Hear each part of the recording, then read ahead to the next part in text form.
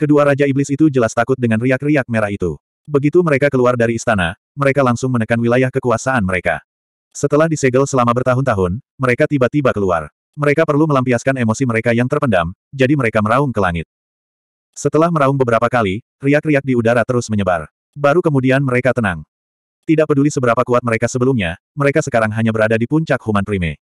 Mereka hanya sedikit lebih kuat dari para roh. Menghadapi lebih dari sepuluh roh, sang pangeran seharusnya tidak begitu percaya diri. Selain itu, selain roh tak terkalahkan, ada juga Zichen yang dikenal sebagai manusia terkuat. Bunuh, bunuh mereka semua, terdengar suara dingin sang pangeran. Pada saat ini, kedua Raja Iblis bergerak. Mereka melangkah maju dan menghentakkan kaki mereka. Langit tiba-tiba menjadi gelap. Dua kaki, yang jauh lebih besar dari batu kilangan, menghentakkan kaki ke arah roh dan Zichen. Suara mendesing. Suara mendesing. Cahaya menyala. Menghadapi serangan ini, semua roh berubah menjadi aliran cahaya dan menghindar. Saat kaki itu mendarat, dua kawah besar muncul di tanah. Energi mengamuk di kawah-kawah itu, dan asap serta debu mengepul. Karena gagal mengenai sasaran, para penguasa iblis melangkah maju dan mengangkat telapak tangan mereka. Jejak telapak tangan hitam pekat diarahkan ke roh-roh, sementara jejak telapak tangan lainnya diarahkan ke si Chen. Dia baru di tahap awal manusia. Ayo kita bunuh dia. Semua roh itu jenius. Mereka pernah ditipu sebelumnya, dan sekarang mereka ditekan. Tentu saja, mereka tidak senang. Sambil berteriak, mereka berbalik dan bergegas menuju Demon Sovereign. Semua roh melancarkan serangan dahsyat. Semua jenis cahaya cemerlang membubung ke langit dan melesat menuju telapak tangan hitam pekat itu. Dengan ledakan gemuruh, langit dan bumi berguncang saat kedua energi itu bertabrakan di langit. Mereka terkunci dalam jalan buntu dan menimbulkan malapetaka. Pada akhirnya, Telapak tangan hitam pekat itu tidak dapat menahan terlalu banyak energi dan langsung meledak. Namun, kekuatan penghancurnya juga menghancurkan serangan kuat dari tubuh roh dan yang lainnya. Serangan gabungan para roh itu hanya setara dengan satu telapak tangan. Jelas terlihat betapa kuatnya penguasa iblis ini. Kemudian, semua roh melangkah maju dan melancarkan serangan terkuat mereka ke salah satu penguasa iblis. Serangan-serangan ini sangat hebat, mempesona, kuat, dan menakutkan. Semuanya menyerang Raja Iblis. Dalam sekejap, Demon Venerable diserang oleh lebih dari sepuluh serangan dahsyat. Percikan api beterbangan ke segala arah, dan suara logam berdenting bergema. Tubuh Demon Venerable hampir sebanding dengan senjata jiwa. Ketika serangan mendarat di atasnya, mereka tidak dapat menembus pertahanannya sama sekali. Apa? Adegan ini menyebabkan ekspresi tubuh roh berubah drastis. Bunuh, bunuh mereka semua. Setelah auman sang pangeran, seorang Raja Iblis melancarkan serangan ke kelompok tubuh roh itu. Cahaya hitam tak terbatas berkelebat di antara langit dan bumi. Dalam sekejap, seluruh wilayah menjadi gelap gulita. Seolah-olah mereka tiba-tiba memasuki ruang kegelapan total. Di ruang gelap ini, indera spiritual tubuh roh sama sekali tidak berguna. Mereka hanya bisa menggunakan mata mereka untuk melihat ke arah sejauh 5 meter. Tubuh mereka bersinar dengan cahaya yang cemerlang, tetapi cahaya ini hanya bisa menerangi jarak 5 meter. Ini adalah kemampuan ilahi iblis menelan dunia yang diketahui oleh setiap iblis. Namun, ketika digunakan oleh Raja Iblis, kekuatannya mungkin ratusan atau ribuan kali lebih kuat daripada mereka yang setingkat. Bahkan dapat menekan tubuh roh tak terkalahkan. Segera setelah itu, cahaya hitam mulai menyala, dan gelombang demi gelombang energi kuat melonjak di dalamnya. Setelah itu, seluruh dunia bergema dengan ledakan keras. Cahaya hitam yang tak terbatas itu hanya muncul selama tiga detik. Setelah itu, aura iblis di dunia menghilang. Namun, tidak lebih dari lima tubuh roh yang berdiri. Sisanya jatuh ke tanah, memegangi dada mereka dan batuk seteguk darah. Di sisi ini, seorang Demon Venerable menekan sekelompok tubuh roh. Di sisi lain, dengan Zi Chen sebagai pemimpin, Perfect Body dan Demon Ape sebagai pendukung, ketujuh orang itu mengambil inisiatif untuk menyerang. Serangan telapak tangan yang mulia iblis sebelumnya dihancurkan oleh Zi Chen. Setelah itu, kelompok itu mendekati yang mulia iblis. Tubuh Perfect Body berkilauan dengan cahaya keemasan yang cemerlang saat ia tiba di sisi Demon Venerable seperti sambaran petir. Setelah itu, cahaya keemasan yang tak terbatas menyala saat ia mulai menggunakan teknik jarak dekat. Serangannya sangat sempurna, dan kecepatannya bahkan lebih cepat dari Zichen. Di tangan Zichen, sarung tangan petir muncul. Kemudian, ia melesat ke sisi lain Demon Venerable dan mengalirkan energi esensinya yang sempurna. Selain kekuatannya yang sempurna, ia mulai menggunakan serangkaian teknik jarak dekat. Meskipun tekniknya tidak sehebat tubuh sempurna, kekuatannya jauh lebih kuat daripada tubuh sempurna. Kera iblis memegang tongkat hitam dan menghantamkannya ke kepala yang mulia iblis. Segala macam rune menyala di tongkat hitam itu. Serangan yang sudah kuat itu menjadi beberapa kali lebih kuat. Di kekosongan di belakang Demon Venerable, sosok Zhang Haotian muncul. Pola pada pedang batu di tangannya juga menyala. Di bawah niat membunuh yang mengerikan, dia menusuk bagian belakang kepala pihak lain. Di tengah auman naga dan harimau, hantu naga harimau setinggi 100 meter muncul di belakang Longhu. Saat Longhu bergerak, hantu besar itu mengacungkan cakar naganya dan menyerang Demon Venerable di depannya. Semua orang menyerang dengan serangan yang kuat. Dalam sekejap, segala macam kekuatan meledak, menghasilkan gempa besar. Serangan Zhang Haotian tidak menembus bagian belakang kepala Demon Venerable. Itu hanya menghancurkan beberapa sisik hitam. Pada saat yang sama, dia terdorong mundur oleh kekuatan yang kuat. Saat ia mundur, tubuhnya terbanting ke tanah. Karena daerah ini masih merupakan zona larangan terbang, mereka tidak bisa terbang dalam waktu lama. Mereka hanya bisa meninggalkan tanah dalam waktu singkat. Tubuh sempurna juga mundur dalam sekejap. Di tempat dia menyerang, beberapa sisik hancur. Sebelum Zichen mundur, dia menyerang lagi dengan serangan kuat, menghancurkan sisik Demon Venerable. Pada saat yang sama, ada jejak darah merah di tempat sisik itu hancur. Serangan terakhir Long Hu membuat Demon Venerable mundur tujuh hingga delapan langkah. Dia terhuyung dan hampir jatuh. Mereka berdua menyerang Demon Venerable, tetapi efeknya berbeda. Sekilas terlihat jelas siapa yang lebih kuat. Demon Venerable terdorong mundur dan menjadi sangat mudah tersinggung. Saat berikutnya, dia mengaktifkan Demon Swallowing the World. Dia juga belajar dari rekan-rekannya dan menggunakan metode yang sama untuk menekan manusia di depannya. Namun, di bawah naungan aura iblis, Zichen, yang merasakan aura yang menindas, segera mengaktifkan mata yin yang miliknya. Pada saat yang sama, kera iblis juga mengaktifkan mata pemecah delusi miliknya. Di tengah aura iblis yang mengerikan itu, terdengar suara menggelegar. Tampaknya situasinya sama seperti sebelumnya. Tiga tarikan napas. Itu masih tiga tarikan napas. Segala macam serangan berakhir satu demi satu, dan aura iblis menghilang. Namun, yang jatuh ke tanah bukanlah Zichen dan kawan-kawan, melainkan Demon Venerable. Demon Venerable yang tingginya 100 meter itu telah menyusut hingga seukuran orang biasa. Tubuhnya berlumuran darah, dan sisik-sisiknya yang padat rusak di banyak tempat. Dia berdiri dari tanah dan menatap dingin ke arah kelompok Zichen. Niat membunuh di sekelilingnya semakin kuat dan kuat.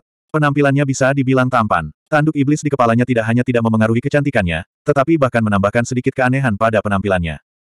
Bagus sekali, bagus sekali. Tak seorang pun dari kalian akan hidup hari ini, kata Demon Venerable yang telah menyusut itu dengan dingin. Dengan perkataan itu, sebuah cahaya hitam menyambar dan sosok Demon Venerable tiba-tiba menghilang, meninggalkan jejak bayangan. Hati-hati. Zichen dan si kera iblis berteriak bersamaan. Keduanya belum menarik kembali teknik mata mereka. Mereka dapat melihat bahwa Yang Mulia Iblis hanya meninggalkan bayangan sementara tubuh aslinya telah melancarkan serangan. Peng! Sebelum mereka berdua sempat menyelesaikan kata-kata mereka, sebuah getaran datang dari samping. Long Hu telah menderita pukulan yang kuat dan terlempar. Saat dia terbang mundur, darah kemasan berceceran di udara. Namun, saat darah itu muncul, darah itu langsung dimakan oleh Demon Venerable. Mundur, kalian semua mundur. Demon Venerable yang menyusut itu terlalu cepat. Dia menekan semua orang, dan tidak ada yang bisa bereaksi tepat waktu. Zichen berteriak agar mereka mundur. Pada saat yang sama, sayap petir muncul di punggungnya. Dia menunjukkan kecepatan tercepat di dunia dan mengejar Demon Venerable. Tepat saat Demon Venerable tiba di depan LV Peng, Zichen menyusulnya. Keduanya mulai bertukar pukulan. Dengan kecepatan mereka yang luar biasa, tubuh Zichen mulai memancarkan cahaya emas dan perak. Ini adalah cahaya yang dilepaskan ketika dua jenis energi asal digunakan pada saat yang bersamaan. Cahaya emas dan perak muncul bersamaan. Tubuh Zichen juga menempel di dekat Demon Venerable. Keduanya melancarkan serangan yang kuat. Keduanya berubah menjadi cahaya dan bayangan. Dalam sekejap mata, mereka telah bertukar ratusan pukulan. Suara benturan terus terdengar, dan riak energi berbagai warna bergetar ke segala arah. LV Peng dan yang lainnya juga mengambil kesempatan untuk mundur. Kera Iblis, yang kecepatannya tidak lebih lambat dari Zichen, memegang tongkat hitam dan berjaga-jaga jika Yang Mulia Iblis tiba-tiba menyerang. Di depan, Zichen setara dengan Demon Venerable. Di sisi lain, Demon Venerable juga menyusut. Kemudian, ia menggunakan kecepatan ekstrim dan serangan kuatnya untuk mengepung sekelompok roh dan menghajar mereka. Selama periode ini, eksistensi yang sebanding dengan roh telah dipukuli sampai mati dan dimangsa oleh Demon Venerable. Naga kera, kemarilah, teriak kera iblis saat melihat segerombolan orang yang berada dalam bahaya. Naga kera adalah teman Zichen. Setelah mendengarnya, dia dengan tegas terbang mendekat. Pada saat yang sama, dia membawa manusia naga bersamanya. Adapun roh-roh lainnya, mereka mengambil kesempatan untuk mundur atau membentuk semacam pertahanan untuk melawan sang iblis mulia. Bagaimana ini bisa terjadi? Pangeran sangat puas dengan pertempuran di sisi lain. Di level yang sama, mudah bagi Demon Venerable untuk mengalahkan roh. Namun, di sisi lain, kekuatan tempur Zichen sebenarnya setara dengan Demon Venerable. Ini tidak dapat dipercaya. Demikian pula, Putri Ketujuh, yang telah mundur jauh di bawah perlindungan iblis setengah baya, juga memiliki ekspresi tidak percaya. Meskipun Yang Mulia Iblis menekan levelnya, dia masih seorang Yang Mulia Iblis. Bahkan di dunia iblis, keberadaan semacam ini adalah legenda. Belum lagi kekuatan serangannya, hanya tubuh fisik saja bukanlah sesuatu yang dapat dihancurkan oleh seorang kultivator alam asal fana. Ledakan. Dengan suara keras, kedua sosok itu terpisah. Sayap petir di punggung Zichen terus bergetar, menetralkan benturan yang kuat. Kaki Demon Venerable juga menginjak tanah. Tubuhnya terus meluncur mundur, meninggalkan dua parit di tanah. Pada saat ini, keduanya terluka di banyak tempat. Sisik-sisik di tubuh Demon Venerable patah di banyak tempat. Setelah dia menenangkan diri, dia menyeka darah di dahinya dan mencibir, tidak heran kekuatanmu begitu murni. Ternyata kamu memiliki fisik terkuat dari ras manusia. Fisik seperti ini jarang terjadi bertahun-tahun yang lalu. Aku tidak menyangka kamu memiliki fisik paling murni dari fisik terkuat. Jika aku melahapmu dan mengubah energi murnimu menjadi milikku, aku khawatir aku dapat memulihkan sebagian kekuatanku. Zichen menyeka darah dari sudut mulutnya dan berkata dengan keras, hentikan omong kosongmu. Ayo kita lakukan lagi. Mata Zichen berbinar-binar karena kegembiraan. Ini adalah ekspresi seseorang yang baru saja bertemu seorang pemburu. Dia sekarang berada di tahap akhir alam asal fana. Setiap tubuh spiritual biasa di depannya hanya akan memiliki nasib untuk dihancurkan. Di antara mereka yang setingkat dengannya, hanya sedikit yang bisa menandinginya. Hari ini, dia bisa bertemu dengan seseorang yang selevel dengannya yang membuatnya merasa sangat berbahaya. Itu sungguh sebuah berkah. Terlebih lagi, hanya dalam pertarungan hidup dan mati semacam ini, potensi dalam tubuhnya dapat dirangsang, dan dia dapat meningkatkan levelnya dengan cepat. Aduh! 1082. Ledakan. Terjadi getaran hebat, dan riak energi mengerikan menyebar ke segala arah, menyebabkan ruang menunjukkan tanda-tanda akan hancur. Di bawah naungan riak cahaya merah, ruang itu jauh lebih stabil daripada sebelumnya. Bahkan tubuh spiritual pun tidak dapat menghancurkannya. Pertarungan antara Zichen dan Raja Iblis jelas merupakan pertarungan yang paling kuat.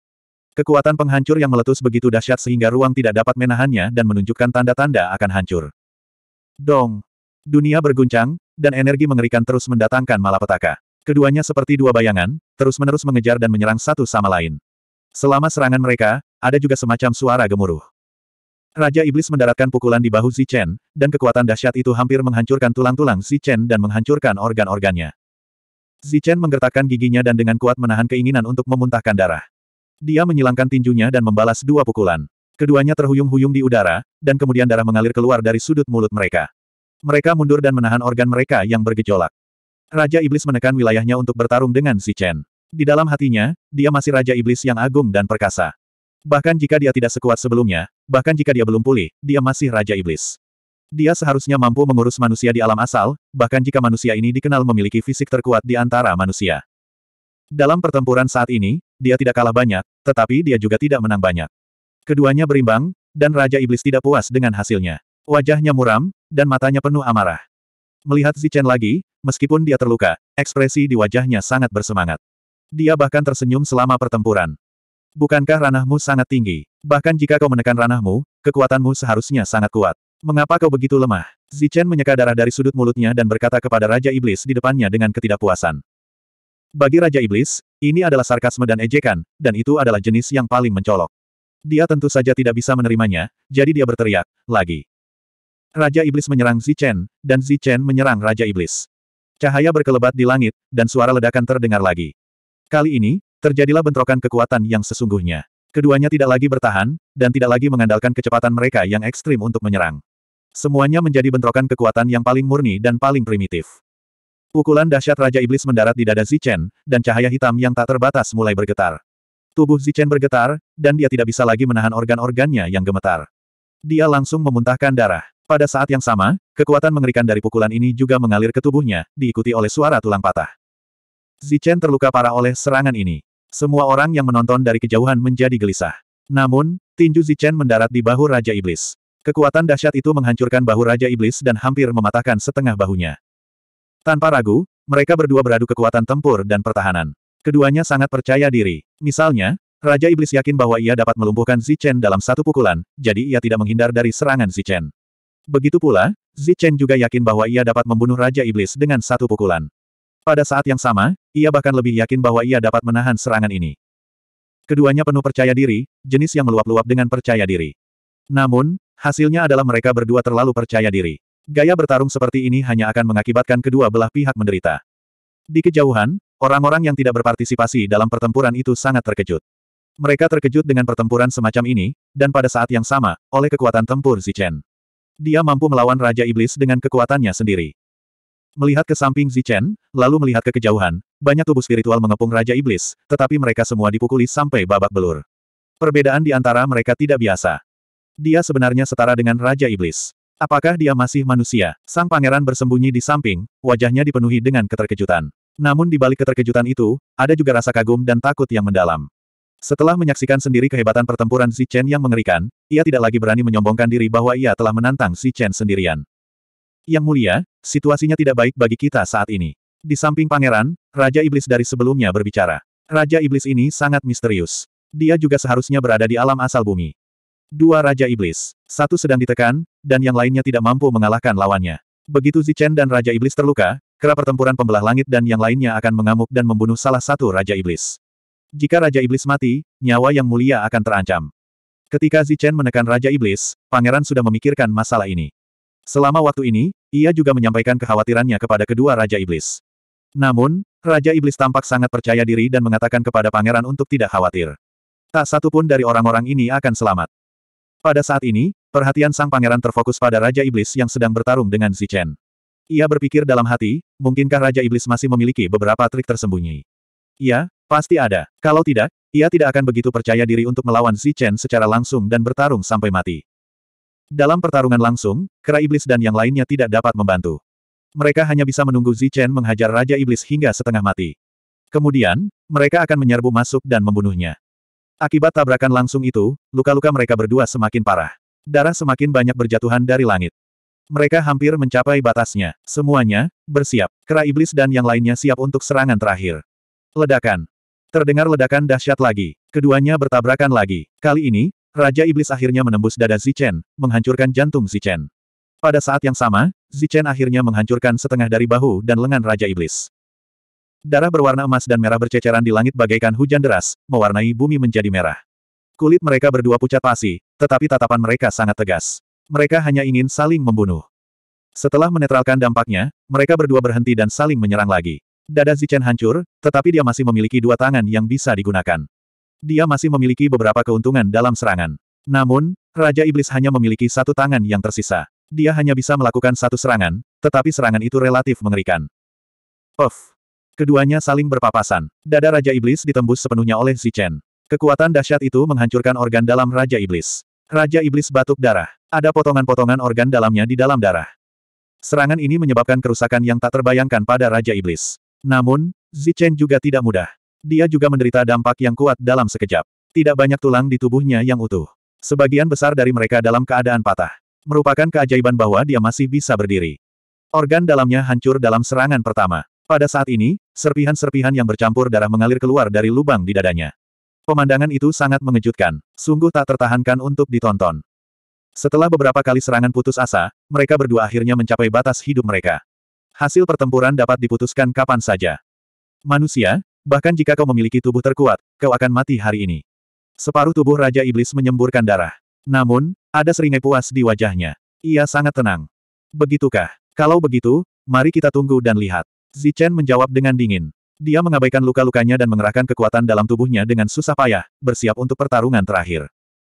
Kekuatan tempurmu mengejutkanku. Namun, kau tidak punya kesempatan lagi. Aku akan mengirimmu pergi. Di tengah tawa jahat Raja Iblis, dia bergegas menuju si Chen. Dalam proses bergegas maju, tubuhnya tiba-tiba terbakar oleh api. Api ini berwarna hitam pekat. Mereka tampak seperti Ki Iblis, tetapi mereka bukanlah Ki Iblis. Mereka adalah api iblis. Api iblis itu menyala dengan ganas, melepaskan aura tirani yang sangat kuat dan mengerikan. Aura ini juga mengandung kemauan. Kemauan yang dapat membakar dan menghancurkan segalanya. Itu api iblis. Api iblis. Ya Tuhan, api iblis yang legendaris. Aku tidak pernah menyangka akan benar-benar melihat api iblis itu. Melihat api iblis di tubuh Raja Iblis, beberapa iblis itu pun terkejut.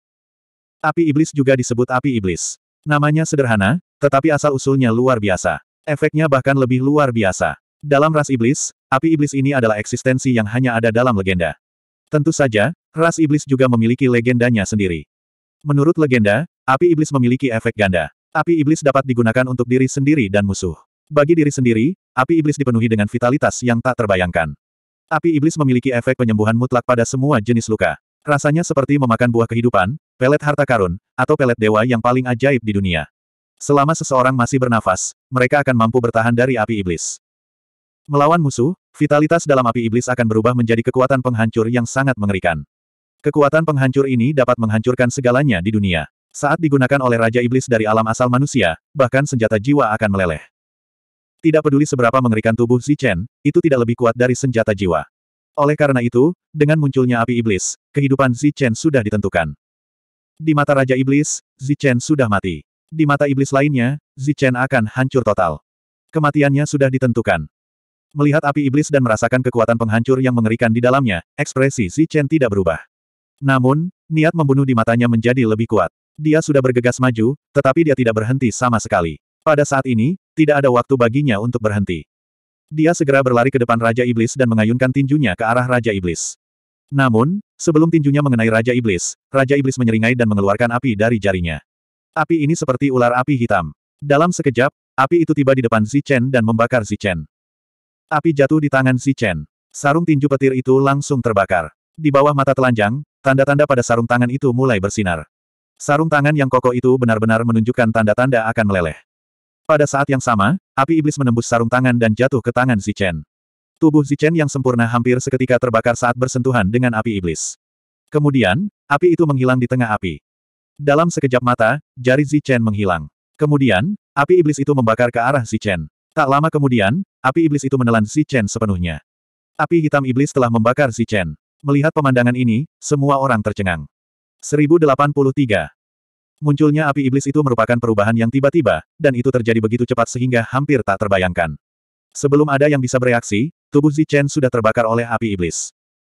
Bagus. Api iblis yang mengamuk menelan Zichen. Di antara mereka yang setingkat, api iblis ini adalah yang paling menakutkan di dunia. Melihat pemandangan ini, sang pangeran tidak dapat menahan diri untuk tidak melompat dan berteriak keras.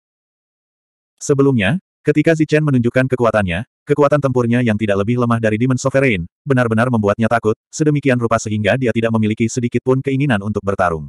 Sekarang, melihat bahwa Zichen akan segera mati, ekspresinya menjadi sangat bersemangat, dan seluruh tubuhnya gemetar karena kegembiraan. Tidak. Zichen. Dibandingkan dengan sang pangeran, si kera iblis dan yang lainnya telah jatuh ke dalam kegilaan. Sambil meraung, mereka bergegas menuju Zichen yang terbakar, mengabaikan nyawa mereka sendiri. Pada saat ini, teman-teman dan saudara Zichen tidak ragu sama sekali. Berkembang seperti ini hanya akan berujung pada kematian. Jika kita kehilangan mereka, Sekte Uji akan hancur sebelum bisa bangkit. Di kejauhan, iblis setengah baya yang berdiri di samping putri ketujuh melihat pemandangan ini dan berkata dengan acuh tak acuh. Putri ketujuh juga menyaksikan semua ini dengan tenang, ekspresinya tidak berubah. Datanglah, siapa pun yang datang akan mati. Hari ini, tidak seorang pun dari kalian akan hidup. Di dalam kobaran api iblis, luka-luka Raja Iblis pulih dengan cepat. Setengah bahunya yang patah akibat si Chen juga beregenerasi. Melihat kera iblis dan yang lainnya berlarian dengan panik, tidak hanya tidak ada rasa takut di wajahnya, tetapi juga ada senyum sinis. Senyum sinis ini sangat kejam dan haus darah. Pada saat yang sama, salah satu tangannya membuat gerakan mengibas. Selama si kera iblis dan yang lainnya berada dalam jangkauan serangannya, dia akan membiarkan mereka merasakan sakitnya terbakar oleh api iblis. Dia juga percaya bahwa api iblis akan membakar mereka hingga tak bersisa. Jangan mendekat. Cepat mundur. Tiba-tiba, suara tenang terdengar di benak si kera iblis dan yang lainnya. Transmisi suara itu tentu saja berasal dari Zichen. Api iblis membakarnya tetapi tidak membunuhnya. Bahkan, itu tidak menyebabkan ekspresi Zichen berubah. Suaranya sangat tenang dan pada saat yang sama, ada keyakinan tertentu di dalamnya. Keyakinan ini menyebar ke kera iblis dan yang lainnya. Mereka semua berhenti dan menatap Zichen dalam api iblis. Zichen sepenuhnya ditelan oleh api iblis. Dia seharusnya sudah mati, tetapi tubuhnya tidak terbakar dan menghilang. Dia tidak mati, tetapi api di sekelilingnya tidak menunjukkan tanda-tanda melemah. Sebaliknya, api itu malah membakar lebih ganas lagi. Api yang sudah menyala dengan ganas itu meraung di saat berikutnya, dan api itu membakar lebih ganas lagi. Ledakan. Akhirnya, api itu mencapai batasnya. Api itu benar-benar mengamuk dan meledak. Setelah ledakan itu, api merah dan emas menyala di dalam tubuh si Chen. Api ini juga mengandung kekuatan tatanan alam. Begitu api dengan tatanan alam itu muncul, api iblis yang membakar segalanya pun perlahan padam seolah-olah telah bertemu dengan musuh bebuyutannya. Api hitam iblis di permukaan tubuhnya padam, tetapi api di tubuh Zi Chen tidak padam. Sebaliknya, api itu berubah menjadi emas dan terbakar lebih hebat lagi. Dan di dalam api emas yang kuat itu, selain kekuatan tatanan alam, ada juga aura kehidupan yang sangat kaya. Baiklah, ini sebenarnya adalah api kehidupan. Tubuh sempurna Zi Chen menyalakannya dari dalam keluar, menggerakkan kekuatan tatanan alam. Itu adalah api kehidupan yang sama seperti saat dia memecahkan susunan itu. Ini adalah api kehidupan. Mengapa kamu bisa memobilisasi api kehidupan dua kali? Setelah melihat Zichen membakar api kehidupan lagi dan menghilangkan api iblis, ekspresi puas di wajah Demon Supremacy langsung membeku. Dia menatap Zichen seolah-olah dia telah melihat hantu. Aneh sekali ya, kamu jelas-jelas sudah melihat acuh kehidupan tadi. Suara acuh tak acuh Zichen terdengar dari api kehidupan. Pada saat ini, Zichen dan Demon Supremacy saling berhadapan. Keduanya telah berubah menjadi sosok yang menyala-nyala. Yang satu adalah api emas, sementara yang lain adalah api iblis. Ketika pemandangan ini mendarat di mata Demon Supremacy di kejauhan, ekspresinya segera berubah. Ekspresi tidak percaya muncul di wajahnya. Kamu menarik api kehidupan dua kali dalam sehari. Mungkinkah kamu telah mengolah tubuh abadi? Itu tidak mungkin. Bagaimana mungkin seorang manusia utama memiliki tubuh abadi? Wajah sang penguasa iblis dipenuhi dengan keterkejutan. Keterkejutan semacam ini hanya terungkap setelah melihat sesuatu yang menentang konvensi dan logika. Aku tidak tahu apa itu tubuh abadi, tapi aku tahu kau pasti akan mati selanjutnya. Suara dingin Zichen datang dari api kehidupan. Kemudian, Zichen mengepalkan tinjunya dan menyerang Demon Supremacy seperti bola api. Dia tiba di depan Demon Supremacy seperti kilat dan meninju. Kali ini, kekuatan yang dominan bukan lagi kekuatan Zichen, tetapi kekuatan api emas. Tinju ini pertama kali bertabrakan dengan api iblis, menyebabkan gelombang kejut. Kemudian, kekuatan hukum dalam api kehidupan menyapu ke arah api iblis. Sama seperti sebelumnya, api iblis itu tampaknya telah bertemu musuh bebuyutannya. Saat bersentuhan dengan api emas, api itu langsung padam, memperlihatkan lubang seukuran kepalan tangan. Api kehidupan melewati lubang ini dan mendarat di Demon Supremacy. Pada saat berikutnya, tubuh Demon Supremacy terbakar oleh api kehidupan. Dikenal sebagai api kehidupan, api ini dapat menyembuhkan luka Zi Chen secara instan. Namun bagi supremasi iblis, api ini mengandung kekuatan penghancur yang tak terbatas. Api kehidupan dan api iblis adalah dua jenis api yang berada pada level yang sama.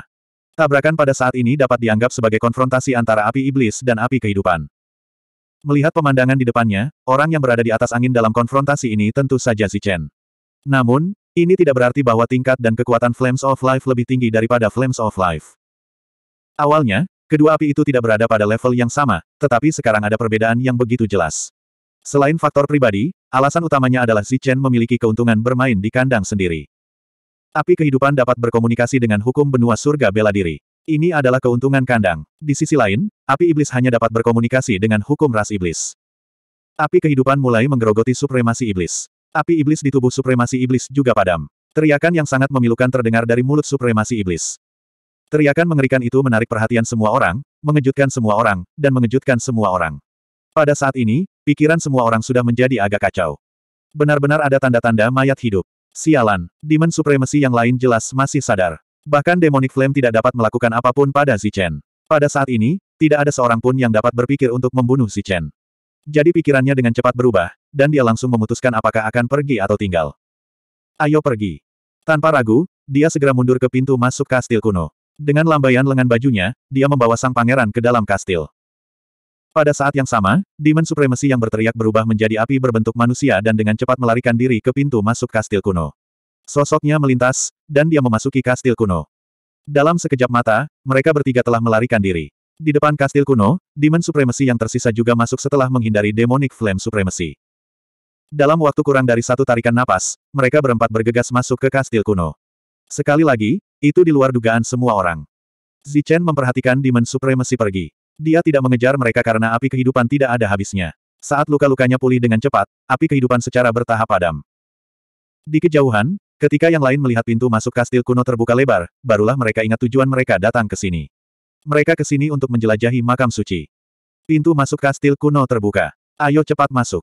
Kastil kuno itu sangat besar. Kita mungkin tidak akan bisa bertemu dengan Demon Supremacy. Ayo cepat pergi. Siapa tahu, kita mungkin bisa bertemu secara kebetulan.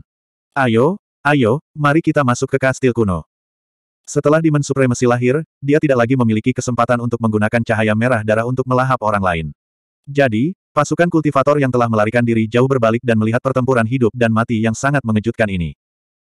Akan tetapi, saat keempat supremasi iblis melarikan diri satu demi satu, pasukan pembudidaya bereaksi secepat yang mereka bisa dan menyerbu maju secepat yang mereka bisa. Kesempatan itu ada di depan mata mereka. Meskipun mereka merasakan semacam bahaya, tidak ada seorang pun yang mau menyerah. Jadi, mereka memanfaatkan kesempatan itu untuk menyerbu masuk. Api kehidupan di tubuh Zichen berangsur-angsur menghilang. Luka-lukanya sembuh lagi, dan dia kembali ke kondisi puncaknya. Su Mengyao dan yang lainnya berada tepat di sampingnya. Pada saat ini, mereka segera mengelilinginya. Begitu api padam, pikiran spiritual Zichen menyebar dan mengeluarkan perintah kepada semua orang di area tersebut. Orang-orang dari Sekte Wuji, tanpa perintahku, tidak seorang pun diizinkan masuk. Ketika binatang-binatang aneh dan pasukan manusia mendengar ini, meskipun mereka sangat tidak rela, mereka tidak rela untuk tidak mematuhi perintah Zichen. Kalian semua, cepatlah kembali.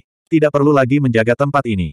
Zichen, yang masih khawatir, memerintahkan semua orang untuk mundur. Zichen, apakah supremasi iblis sudah mati? Melihat Zichen baik-baik saja, semua orang ingin tahu apakah penguasa iblis masih hidup atau sudah mati. Penguasa iblis terlalu kuat, begitu kuatnya sehingga membuat jantung orang berdebar-debar. Zichen berpikir serius dan menggelengkan kepalanya. Api kehidupan tidak menyala lama. Kemungkinan besar, Demon Supremacy masih hidup. Setelah semua orang masuk, kalian harus berhati-hati. Si kera iblis dan yang lainnya mengangguk. Zichen, pasukan ras iblis sudah masuk. Kita juga harus masuk. Naga kera berjalan mendekat. Zichen mengangguk dan berkata, hati-hati. Jaga dirimu. Sang naga kera dan sang manusia naga mengangguk dan pergi. Setelah naga kera pergi, Ming Xin juga datang untuk mengucapkan terima kasih. Kemudian, ia pergi bersama sekelompok murid Buddha. Energi Buddha memiliki efek menahan yang kuat pada energi iblis. Namun, ketika perbedaan tingkat kultivasi terlalu besar, energi Buddha juga akan ditahan oleh energi iblis. Dalam pertempuran dengan Demon Supremacy, Ming Xin terluka parah. Merupakan suatu keajaiban bahwa dia tidak mati. Aku tidak menyangka akan ditipu oleh ras iblis. Untungnya, Zichen, kamu berhasil mengaktifkan kekuatan aturan. Kalau tidak, semua orang pasti sudah mati di sini hari ini, kata LV Peng dengan sedikit ketakutan. Huff, ini semua gara-gara putri bodoh itu. Dia hampir membuat kita terbunuh. Si kera iblis mendengus. Putri bodoh, dia sama sekali tidak bodoh. Sebaliknya, dia sangat pintar, kata Su Mengyao dengan marah. Kenapa? Bukankah dia juga tertipu? Dia hampir mati tadi. Semua orang menatap Su Mengyao dengan bingung.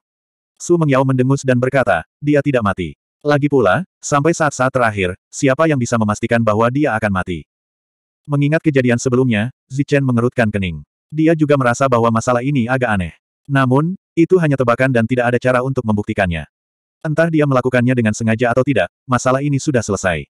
Jika kamu melihatnya, jangan lupa untuk meminta ganti rugi. Yang lain mengangguk. Hanya Su Mengyao yang sedikit tidak puas. Dia sepertinya merasa bahwa Zi Chen melindungi putri ketujuh.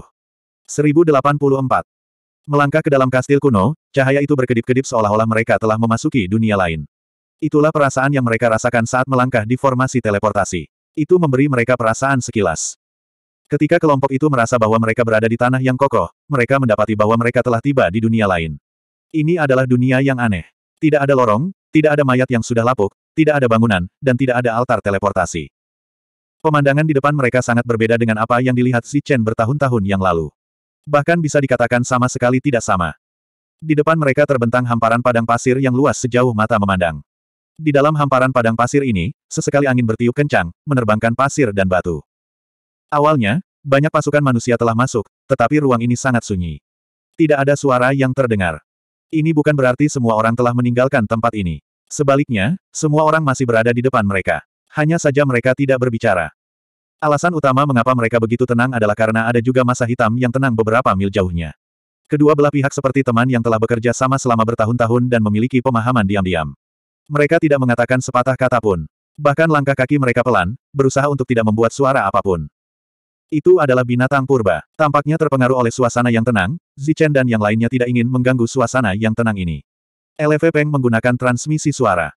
Binatang buas purba, sekawanan binatang buas purba.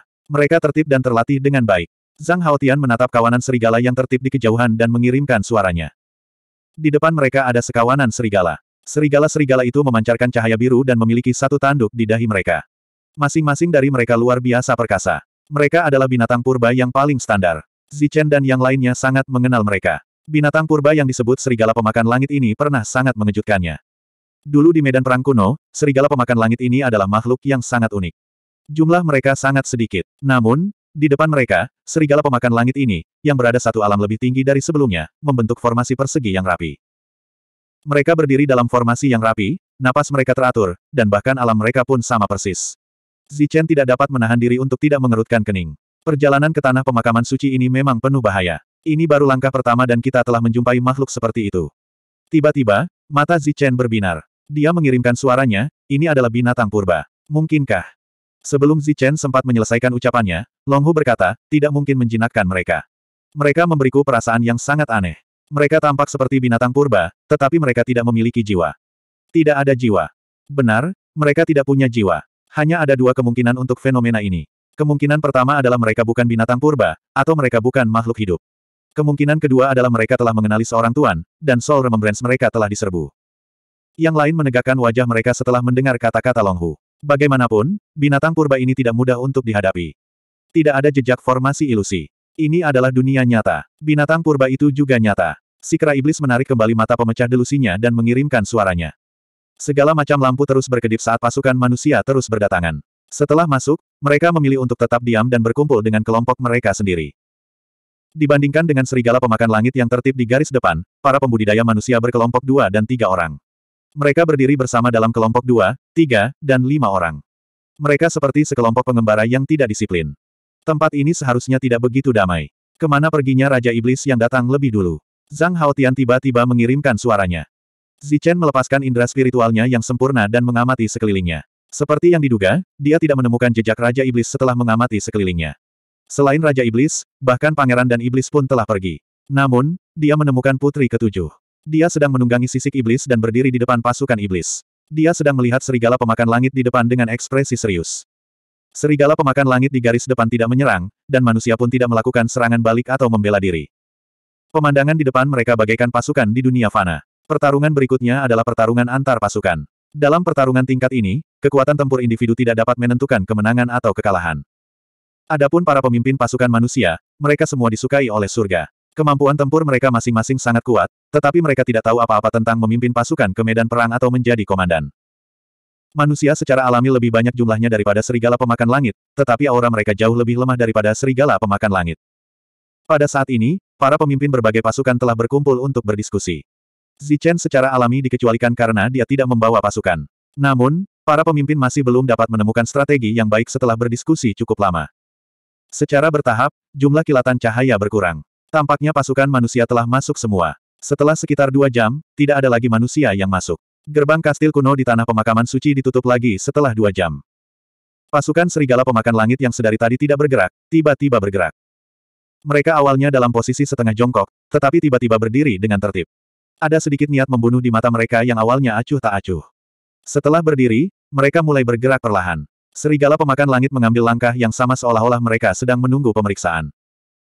Meskipun mereka tidak menyerbu ke depan, langkah-langkah yang teratur dan niat membunuh yang kuat telah membawa banyak tekanan kepada para pembudidaya manusia. Menerobos jalan manusia, mendaki tangga menuju surga. Tiba-tiba, terdengar suara dingin dari langit. Semua orang tertarik oleh suara itu dan secara naluriah mendongak. Mereka melihat seseorang berdiri di langit. Itu adalah seorang pria muda, begitu mudanya sehingga dia tampak seperti remaja. Remaja itu berdiri di langit dan memandang ke bawah ke semua orang. Ekspresi semua orang langsung berubah ketika mereka melihat remaja yang tampan dan anggun ini. Mereka terkejut. Seorang remaja terbang. Di dunia luar, hal ini sama sekali bukan hal yang langka. Siapa pun bisa terbang. Namun, di dunia ini, hal ini jauh lebih langka karena tidak ada seorang pun yang bisa terbang, termasuk Zichen. Namun, remaja yang tiba-tiba muncul ini bisa terbang. Dia memiliki arti penting. Semua orang ingin menebak identitasnya, tetapi mereka lebih tertarik pada apa yang baru saja dikatakan remaja itu. Menerobos jalan manusia dan mendaki tangga menuju surga. Apa maksudnya? Seolah menebak kebingungan di hati manusia, remaja itu menjelaskan, jika kau ingin memasuki alam surgawi, kau harus melewati jalan manusia. Ada sembilan tahapan di jalan manusia. Setelah melewati sembilan tahapan itu, kau akan melihat tangga menuju surga dan memasuki alam surgawi. Penjelasannya sederhana, tetapi semua orang mengerti. Melihat serigala pemakan langit, jelas bahwa ini adalah tahap pertama dari sembilan tahap. Apakah ada hadiah jika melewati jalan manusia? Tiba-tiba, terdengar suara penasaran. Meskipun suaranya tiba-tiba, namun sangat sopan. Datang ke sini untuk mencari harta karun adalah tujuan utama semua orang. Semua orang juga sangat peduli dengan hadiahnya. Pada saat ini, mereka semua menatap orang yang mengajukan pertanyaan dan memujinya secara diam-diam. Remaja itu juga menoleh dan menatap kultivator alam asal manusia. Namun, tidak ada pujian di wajahnya, hanya rasa jijik. Dia tidak menjawab. Sebaliknya, dia menunjuk ke arah kultivator alam asal manusia dengan satu tangan. Saat berikutnya, api muncul di antara jari-jari remaja itu dan berubah menjadi kilatan petir dingin. Itu seperti petir yang menyala-nyala yang menyambar kultivator alam asal manusia. Ha, wajah kultivator alam asal manusia berubah. Dia berteriak dan mengaktifkan Yuan Qi-nya untuk membentuk pertahanan. Pada saat yang sama, dia mengeluarkan senjata tingkat manusia dan melemparkannya ke arah petir yang menyala-nyala. Ledakan. Petir yang menyala itu meledak dan senjata tingkat manusia itu langsung hancur berkeping-keping. Pada saat yang sama, petir itu berubah menjadi api dan menelan kultivator alam asal manusia itu. Ditelan oleh api, kultivator alam asal manusia itu mulai berteriak. Namun, teriakannya hanya berlangsung selama dua tarikan napas. Kemudian, api menghilang dan kultivator alam asal manusia itu berubah menjadi ketiadaan. Ada genangan darah besar di tanah. Tanpa berkata apa-apa, dia membunuh kultivator alam asal manusia itu. Sikap sombong dan angkuh seperti itu membuat wajah semua orang berubah. Namun, remaja itu jelas agak aneh. Dia tampaknya mampu mengendalikan kekuatan ruang ini, jadi mereka tidak berani menyalahkannya. Pada saat ini, perhatian semua orang tertuju pada remaja itu. Sangat sedikit orang yang memperhatikan kultivator alam asal manusia yang berubah menjadi ketiadaan. Tentu saja, sangat sedikit orang yang mempertanyakan fakta bahwa kultivator alam asal manusia terbakar sampai mati oleh api. Setelah membunuh kultivator alam asal manusia, remaja itu tidak mau menjelaskan. Rasa jijik di wajahnya menjadi lebih intens. Dia melambaikan lengan bajunya dan menghilang dalam sekejap. Saat remaja itu menghilang, terdengar suara dingin di langit, bunuh. Setelah kata, bunuh terdengar, serigala penelan langit yang bergerak maju perlahan tiba-tiba bertambah cepat. Meskipun mereka berlari dengan kecepatan penuh, serigala penelan langit tetap tidak berpencar. Sebaliknya, mereka masih dalam formasi. Niat membunuh yang dilepaskan oleh serigala penelan langit menjadi lebih teratur. Tentu saja, niat membunuh tidak bisa teratur. Hanya bisa dikatakan bahwa semua serigala penelan langit melepaskan jumlah niat membunuh yang sama. Dan pada saat berikutnya, niat membunuh ini bergabung bersama. Efek dari penggabungan niat membunuh adalah meskipun yang menyerbu adalah sekelompok serigala penelan langit, namun memberi orang ilusi bahwa itu adalah serigala penelan langit raksasa. Satu kelompok menjadi satu. Ini adalah mantra serangan gabungan yang sangat langka. Setiap pasukan besar memiliki mantra ini, tetapi hanya dipraktikkan oleh para kultivator tingkat rendah. Begitu mereka mencapai tingkat yang lebih tinggi dan menjadi lebih kuat, tidak ada yang akan mempraktikkannya lagi. Tentu saja, ini hanya salah satu alasannya. Alasan terpenting adalah bahwa mereka tidak memiliki mantra serangan gabungan yang sempurna yang dapat memungkinkan para kultivator alam asal manusia untuk membentuk serangan gabungan yang sempurna. Serigala penelan langit alam asal manusia di depan mereka dapat membentuk serangan gabungan yang sempurna. Itu adalah mantra serangan gabungan yang mengejutkan semua orang. Kekuatan mantra ini cukup untuk memungkinkan serigala penelan langit ini bertarung di atas level mereka. Tepatnya ada 500 serigala penelan langit. Kekuatan 500 serigala penelan langit bahkan dapat mengguncang seorang kultivator alam asal bumi. Tidak seorang pun di tempat kejadian dapat menghadapi mantra serangan gabungan ini sendirian. Pada saat ini, 500 serigala penelan langit sedang menyerbu. Pasukan di garis depan mulai panik. Jika 500 serigala penelan langit menyerang mereka secara langsung, mereka akan dapat memusnahkan seluruh pasukan. Namun, Ketika serigala penelan langit hendak mencapai mereka, mereka tiba-tiba terpisah menjadi kelompok-kelompok kecil. Kelompok kecil serigala penelan langit ini masih dalam mode serangan gabungan. Namun, karena jumlah mereka sangat berkurang, kekuatan mereka jauh lebih lemah dari sebelumnya. Meski begitu, kelompok kecil serigala penelan langit ini tidak bisa diremehkan. Hanya dalam beberapa detik, serigala penelan langit ini bertempur dengan pasukan manusia. Langit dan bumi yang tadinya sunyi tiba-tiba dipenuhi lolongan serigala. 1085 Serigala pemakan langit muncul, tubuhnya besar dan tinggi. Tubuhnya terbentuk dari gabungan niat membunuh dan kekuatan. Tubuhnya fisik dan serangan fisiknya kuat. Begitu muncul, matanya dipenuhi dengan niat membunuh. Ia menatap target di depannya dan terbang di udara, mengikuti tim Sky Devouring Wolf. Cakar itu mengguncang udara dan menciptakan ledakan sonik. Dua kultivator tahap asal manusia itu terkena serangan satu demi satu. Pertahanan mereka hancur dalam sekejap, dan tubuh mereka terbang seperti layang-layang yang talinya putus. Tubuh mereka meledak di udara, dan darah mengalir deras, mewarnai tanah menjadi merah. Serangan cakar itu tampak biasa saja, tetapi menewaskan dua kultivator alam fana. Setelah serangan cakar itu, serigala pemakan langit membuka mulutnya yang berdarah dan menggigit ke arah kultivator alam fana. Tubuh serigala pemakan langit terus menukik ke bawah, mulutnya yang berdarah terbuka dan tertutup, mengeluarkan suara membuka dan menutup. Dalam waktu singkat, ada beberapa tubuh lagi di tanah.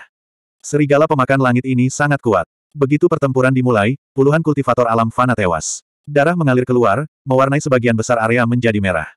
Serang dengan seluruh kekuatanmu, hancurkan formasi terlebih dahulu. Saat serigala pemakan langit membantai, pemimpin tim manusia mulai memberi perintah. Meskipun mereka tidak tahu bagaimana mengatur pasukan atau menyusun strategi, mereka tidak memiliki masalah dalam memberi perintah. Sekelompok kultivator yang sedikit kebingungan mulai melakukan serangan balik. Mereka menggunakan beberapa teknik yang kuat dari jauh atau menggunakan indera spiritual mereka untuk mengendalikan prajurit tingkat manusia agar mundur dan menyerang dari jauh. Singkatnya, mereka tidak akan atau sangat jarang melakukan kontak fisik langsung dengan serigala pemakan langit. Para kultivator alam fana mulai melawan, tetapi karena mereka tidak memiliki senjata jiwa yang kuat, efisiensi serangan mereka tidak begitu kentara. Beberapa kultivator tubuh roh melompat keluar dan melewati kerumunan dengan kecepatan tercepat mereka. Mereka melewati barisan yang sengaja ditinggalkan semua orang dan menghadapi serigala pemakan langit yang besar. Cahaya mulai bersinar di langit. Teknik-teknik Siantian yang kuat menunjukkan kekuatan penghancurnya. Tubuh roh yang tak terkalahkan akhirnya menunjukkan kekuatannya. Begitu kedua belah pihak bersentuhan, beberapa ledakan terdengar. Seketika, serigala pemakan langit yang terbentuk hancur. Ketika serigala pemakan langit meledak, formasinya pun hancur secara alami. Ini adalah tahap pertama dari sembilan tahap jalan manusia, jadi tidak begitu sulit bagi para kultivator tubuh roh.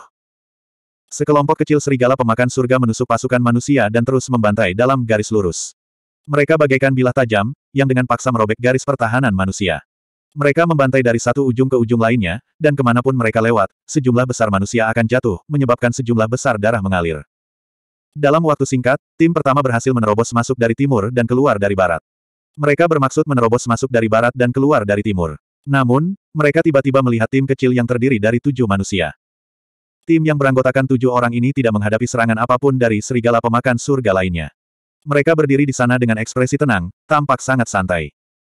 Dalam perjalanannya, pasukan serigala ini telah membunuh lebih dari tujuh orang, jadi ketika mereka melihat ketujuh orang itu, mereka tidak menganggap hanya tim yang terdiri dari tujuh orang saja di mata mereka. Tidak ada teriakan perang, tetapi tatapan mata serigala pemakan surga yang semakin dingin menjelaskan semuanya. Tim kecil serigala pemakan surga ini membentuk serangan gabungan dan menyerang kelompok Zichen tanpa ragu-ragu. Kelompok Zichen yang beranggotakan tujuh orang itu dengan tenang memperhatikan tim kecil ini. Selain ketenangan, ada sedikit rasa kasihan di mata semua orang. Ada hampir sepuluh ribu orang dalam pasukan manusia. Mereka bisa saja membunuh siapa saja, tetapi mereka harus membunuh tim yang paling sulit dan berbahaya. Pasukan serigala ini benar-benar lelah hidup. Namun, mereka kebetulan melihat kelompok Zichen yang beranggotakan tujuh orang di antara sepuluh ribu orang itu. Dalam proses penyerangan, mereka tampaknya merasakan semacam tekanan dari tujuh orang yang tenang dan merasakan semacam bahaya. Mereka tiba-tiba mengeluarkan geraman pelan. Geraman itu untuk meminta bantuan, untuk orang-orang, dan tentu saja, untuk serigala. Tepat pada saat itu, di arah lain, muncul tim lain. Setelah mendengar geraman, mereka membalas dengan geraman dan kemudian menyerang kelompok Zichen yang beranggotakan tujuh orang dari dua arah. Dua serigala pemakan surga yang tinggi dan besar berkumpul lagi, dan dengan serangan gabungan yang sangat kuat, mereka menyerbu ke arah kelompok tujuh orang Zichen tanpa ragu-ragu. Di antara ketujuh orang itu, Zichen berdiri di tengah. Menghadapi kedua serigala pemakan surga ini, dia tidak perlu melakukan apa pun. Su Mengyao adalah seorang wanita, jadi wajar saja, dia tidak akan menjadi yang pertama menyerang. Meskipun tikus pemakan roh itu kuat, mereka bukanlah yang terkuat di antara mereka. Mereka bahkan merupakan yang terkuat kedua, ketiga, atau keempat. Setiap orang memiliki keahliannya sendiri. Teriakan dan pembunuhan seperti ini sebaiknya diserahkan kepada yang terampil. Misalnya, semua orang diam-diam menyerahkan perburuan harta karun kepada mereka. Tiga dari tujuh orang sudah punya alasan untuk tidak menyerang, jadi dua dari empat orang berikutnya pasti akan menyerang. Di sebelah kiri Zichen, tubuh kera iblis bergoyang, tetapi ia mengambil inisiatif untuk bergerak maju. Kera iblis mengangkat tongkat hitam di tangannya tinggi-tinggi. Rune pada tongkat hitam itu bersinar, dan aura yang sangat ganas dan kuat menyebar. Kera iblis memegang tongkat hitam itu erat-erat dan menghantamkannya ke kepala serigala pemakan surga yang besar dan besar. Pukulan ini penuh dengan kekuatan dan membawa momentum ribuan orang. Di sebelah kanan Zichen, cahaya dingin melintas di mata Long Hu. Dia bergerak cepat. Ada alasan mengapa dia mengambil inisiatif untuk menyerang. Alasannya adalah karena dia marah. Dia adalah penguasa Long Hu, pemimpin binatang purba berdarah sejati. Serigala pemakan surga di depannya ini jelas tidak mendekati tingkat binatang purba berdarah sejati, tetapi mereka berani menyerangnya, binatang purba tertinggi. Demi memperlihatkan kekuatannya dan menjaga harga dirinya, tubuh Long Hu tiba-tiba membesar saat ia menyerbu keluar, hingga ia seukuran serigala pemakan surga yang amat besar. Kemudian, ia langsung menyerang serigala pemakan langit, bagaikan bola meriam yang baru saja ditembakkan. Satu di kiri dan satu di kanan, kera iblis dan Long Hu menyerang hampir bersamaan. Tentu saja, serangan mereka mendarat pada saat yang bersamaan. Tongkat hitam yang membawa momentum ribuan orang itu mengguncang ruang dan menghantam tanduk di kepala serigala pemakan surga. Energi iblis hitam pekat dan energi biru bertabrakan, dan terdengar suara gemetar bercampur gemuruh guntur. Kedua jenis energi itu bertabrakan, mencapai jalan buntu, dan berguncang. Pada akhirnya, Energi yang dibawa oleh tongkat hitam itu menang dan menghancurkan cahaya biru itu.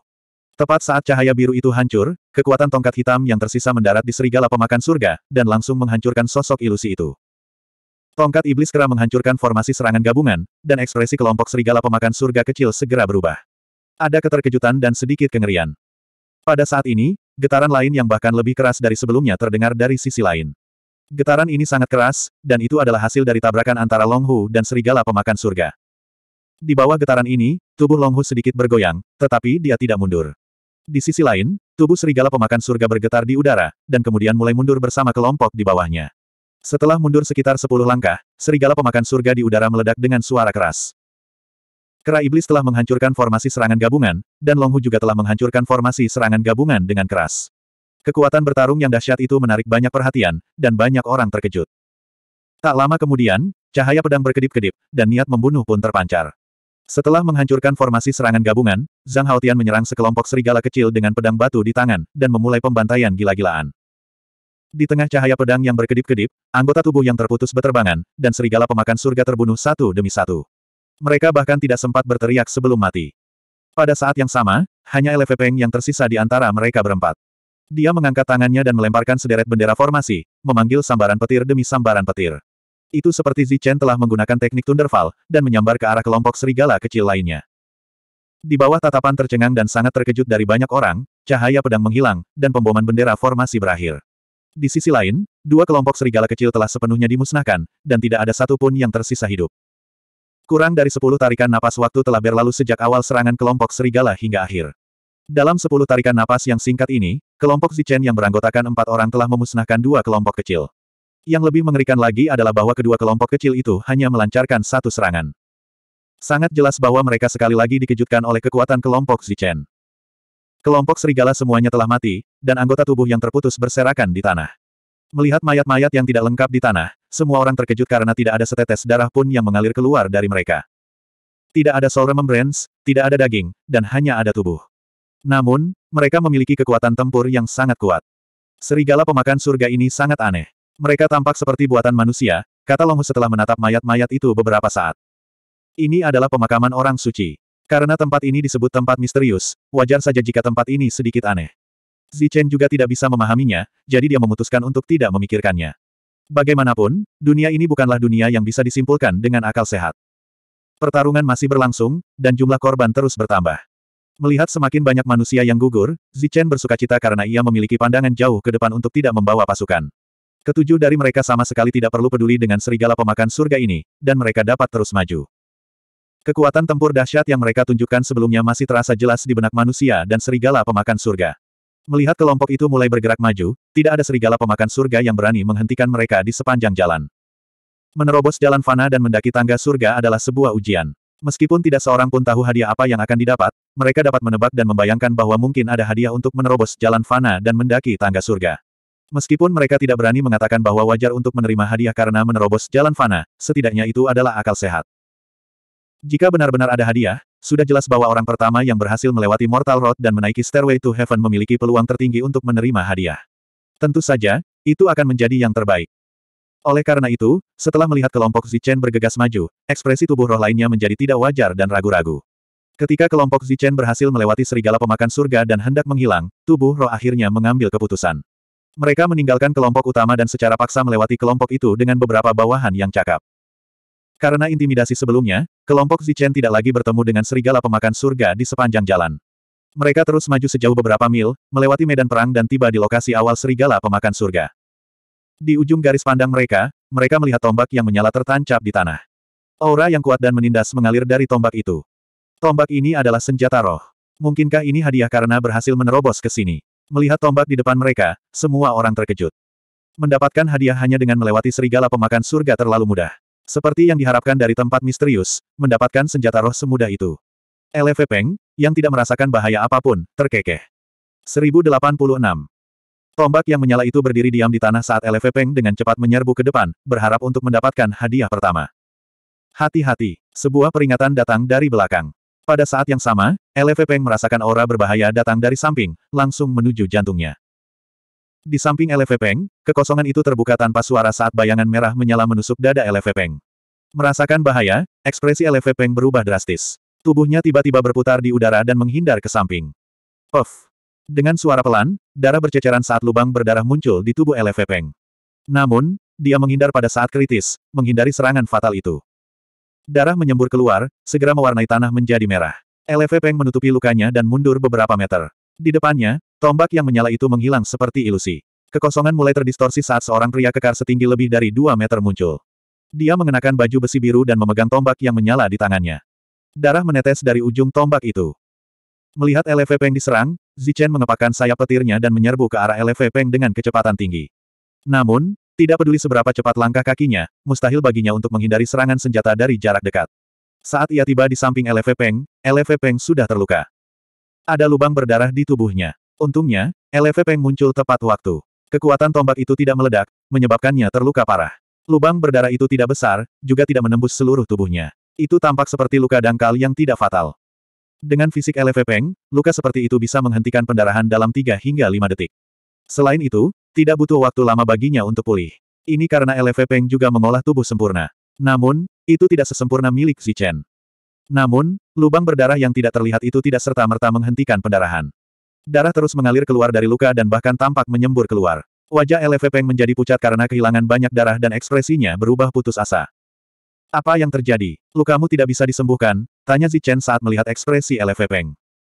LV Peng memegang lukanya saat darah mengalir keluar dan menetes dari pakaiannya ke tanah. Ekspresinya berubah semakin buruk saat dia menggelengkan kepalanya dan berkata, sepertinya ada kekuatan misterius yang mencegah lukanya sembuh. Selain itu, ada sejumlah besar vitalitas dalam darah yang mengalir keluar. Hanya dalam beberapa tarikan napas pendek, ekspresi LV Peng menjadi semakin tidak sedap dipandang. Kekuatan hidup Zichen masih mengalir keluar dari darahnya, dan luka-lukanya tidak kunjung sembuh. Niat membunuh segera muncul di mata Zichen, dan dia berbalik untuk menatap pria kekar itu. Pria kekar itu berjarak 5 meter, dan ruang di sekitarnya berputar seolah-olah dia berdiri di ruang lain. Dia menatap Zichen, lalu ke LV Peng, dan berkata, kamu benar-benar menghindari seranganku. Sungguh menarik. Zichen dengan paksa menyela ratapan pihak lain. Dia menatap dingin ke arah pria kekar itu dan berkata dengan marah, kaulah yang berada di balik semua ini, bukan? Lelaki kekar itu mencibir, bermain trik, trik apa? Zichen menahan keinginannya untuk membunuh dan berkata dengan dingin, aku memberimu satu kesempatan untuk menyembuhkan lukanya, atau mati. Zichen telah menggunakan indera spiritualnya untuk memindai luka LV Peng, tetapi dia tidak menemukan kekuatan lain dalam lukanya. Dia tidak dapat menemukan penyebab pendarahannya, jadi dia tidak dapat melakukan apa pun terhadap luka LV Peng. Hahaha. Lelaki kekar itu tiba-tiba tertawa terbahak-bahak dan berkata, kalau aku tidak bisa menyembuhkan luka-lukanya, aku khawatir dia tidak akan selamat.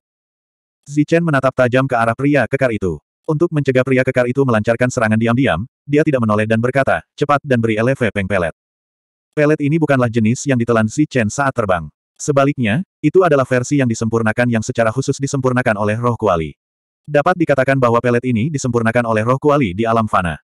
Itu adalah pelet dengan kualitas terbaik. Jangankan pelet biasa, pelet dewa pun tak ada gunanya. Dia hanya akan mati kehabisan darah. Dunia ini butuh darah yang lezat untuk mengairinya, lelaki kekar itu tertawa terbahak-bahak.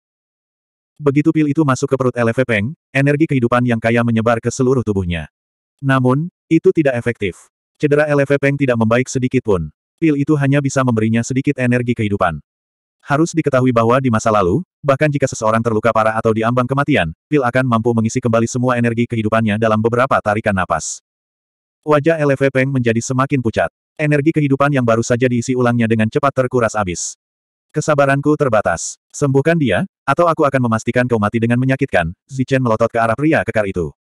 Tidak ada gunanya. Dia akan mati. Tatapan pria kekar itu menyapu Zichen dan yang lainnya. Dia bahkan melirik roh-roh yang berhenti di kejauhan. Dengan seringai mengerikan, dia berkata, kalian semua akan mati juga.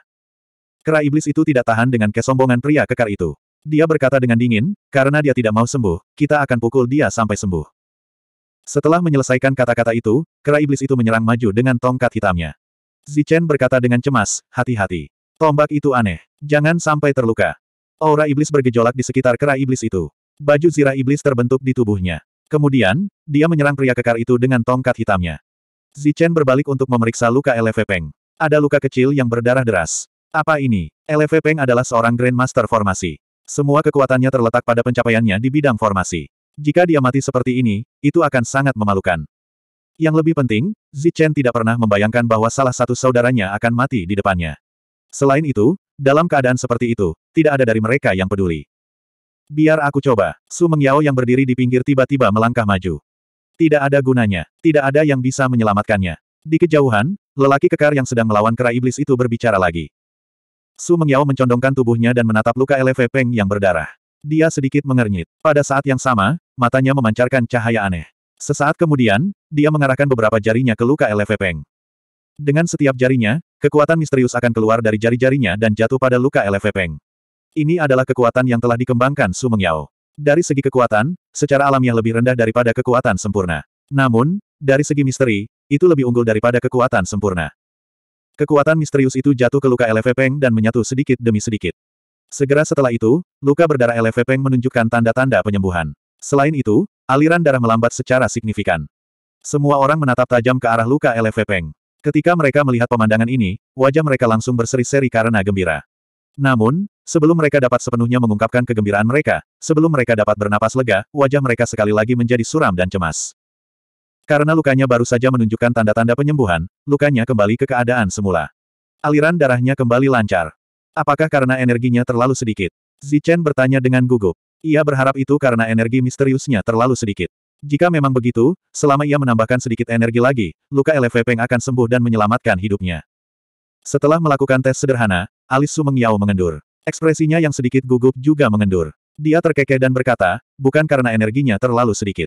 Hanya saja kualitasnya agak rendah. Namun, itu tidak masalah. Aku punya cara untuk menyembuhkannya dan menyelamatkan hidupnya.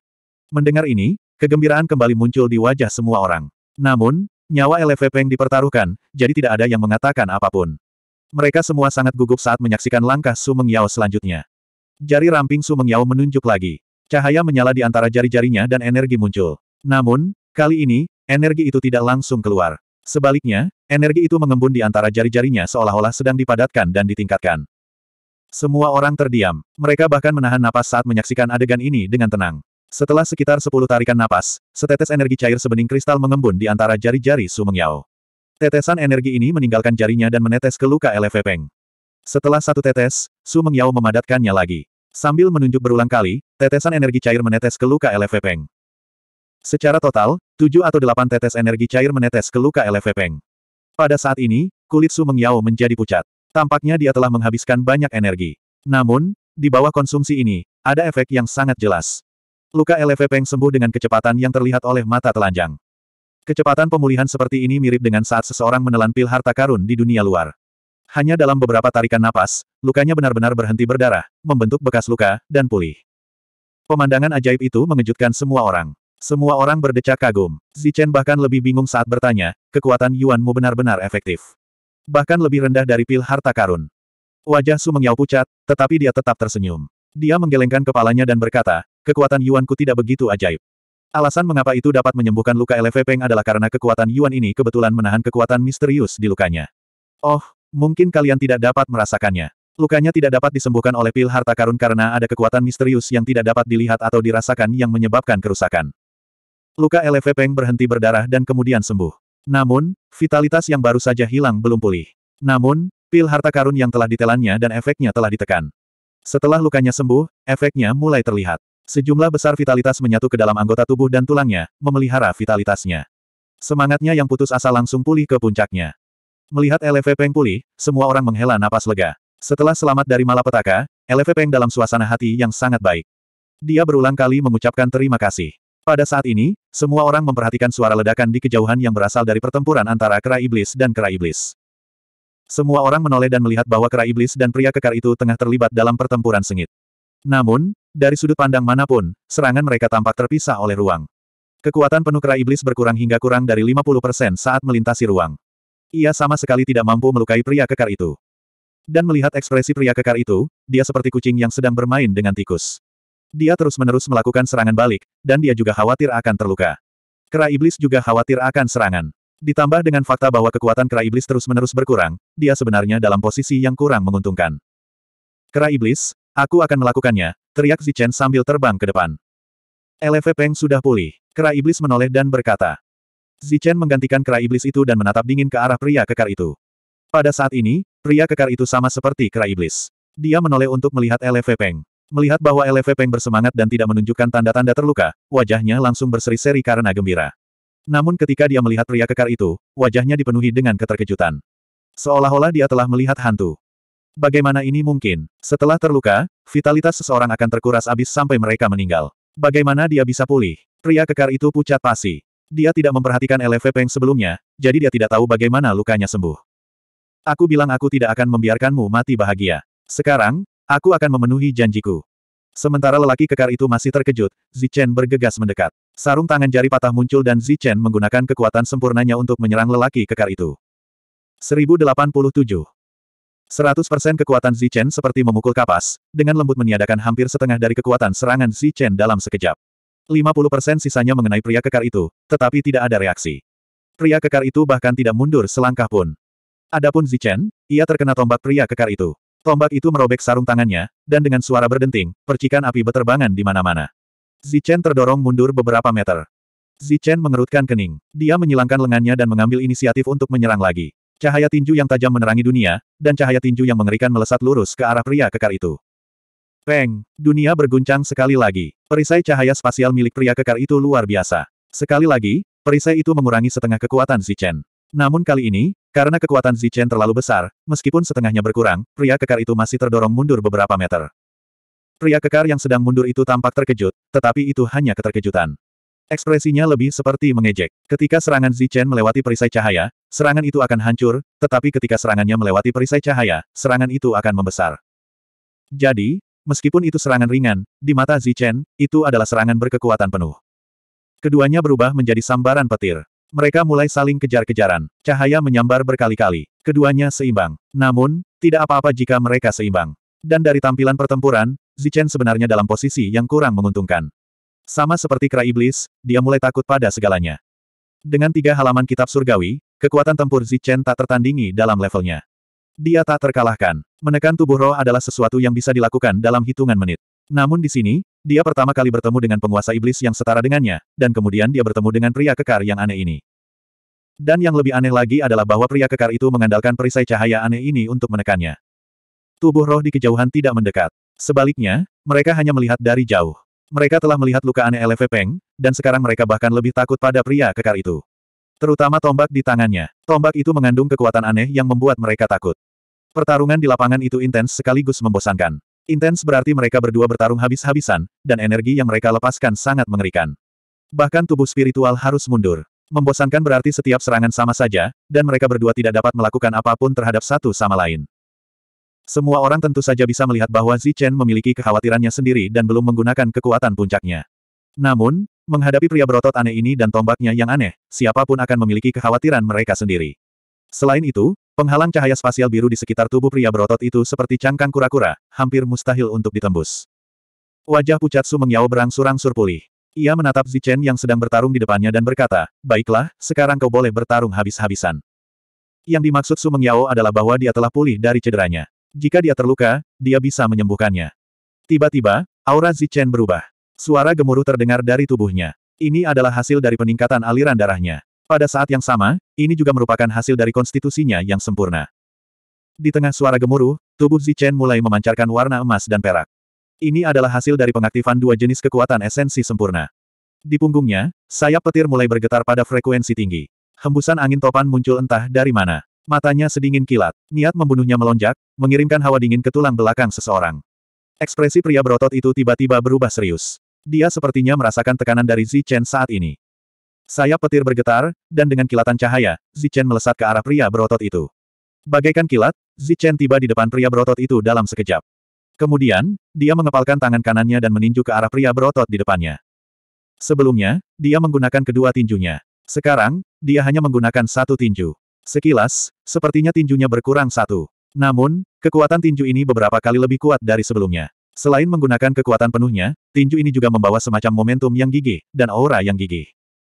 Pada cahaya tinju, energi emas dan perak beredar. Aura kedua energi ini juga beberapa kali lebih kuat dari sebelumnya.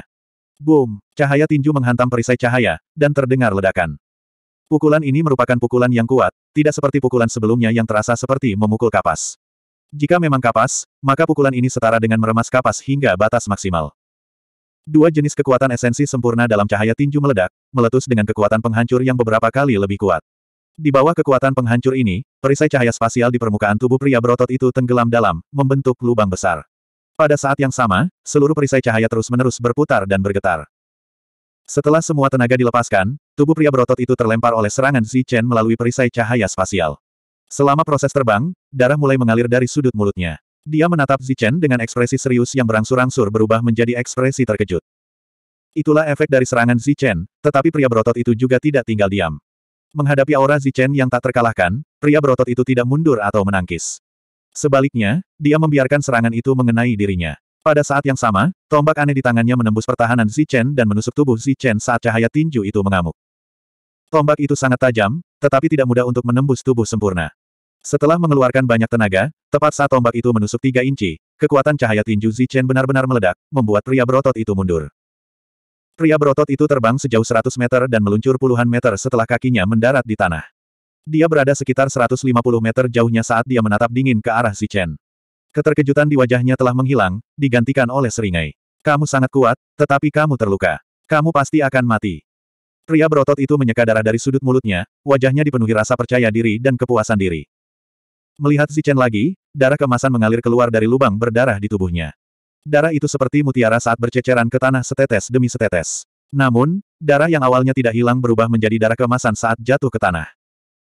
Saat terluka, Zichen merasakan vitalitasnya yang kuat dalam darah yang mengalir keluar. Lebih tepatnya, vitalitasnya telah berubah menjadi darah yang mengalir keluar dari lukanya. Setelah mengalaminya sendiri, Zichen akhirnya mengerti mengapa luka LV Peng menyebabkannya mengeluarkan lebih banyak darah daripada jumlah darah di tubuhnya. Jadi, inilah alasan keanehannya. Tombak api itu sebenarnya memiliki kekuatan ilahi yang aneh. Itu hampir seperti senjata ilahi yang legendaris. Siapa pun yang terkena tombak itu mungkin akan mati. Namun, Zichen tidak mati. Dengan tiga halaman kitab surgawi, ia telah mengembangkan kekuatan sempurna yang sebenarnya. Setelah banyak transformasi, kekuatan sempurna itu telah menjadi benar-benar sempurna.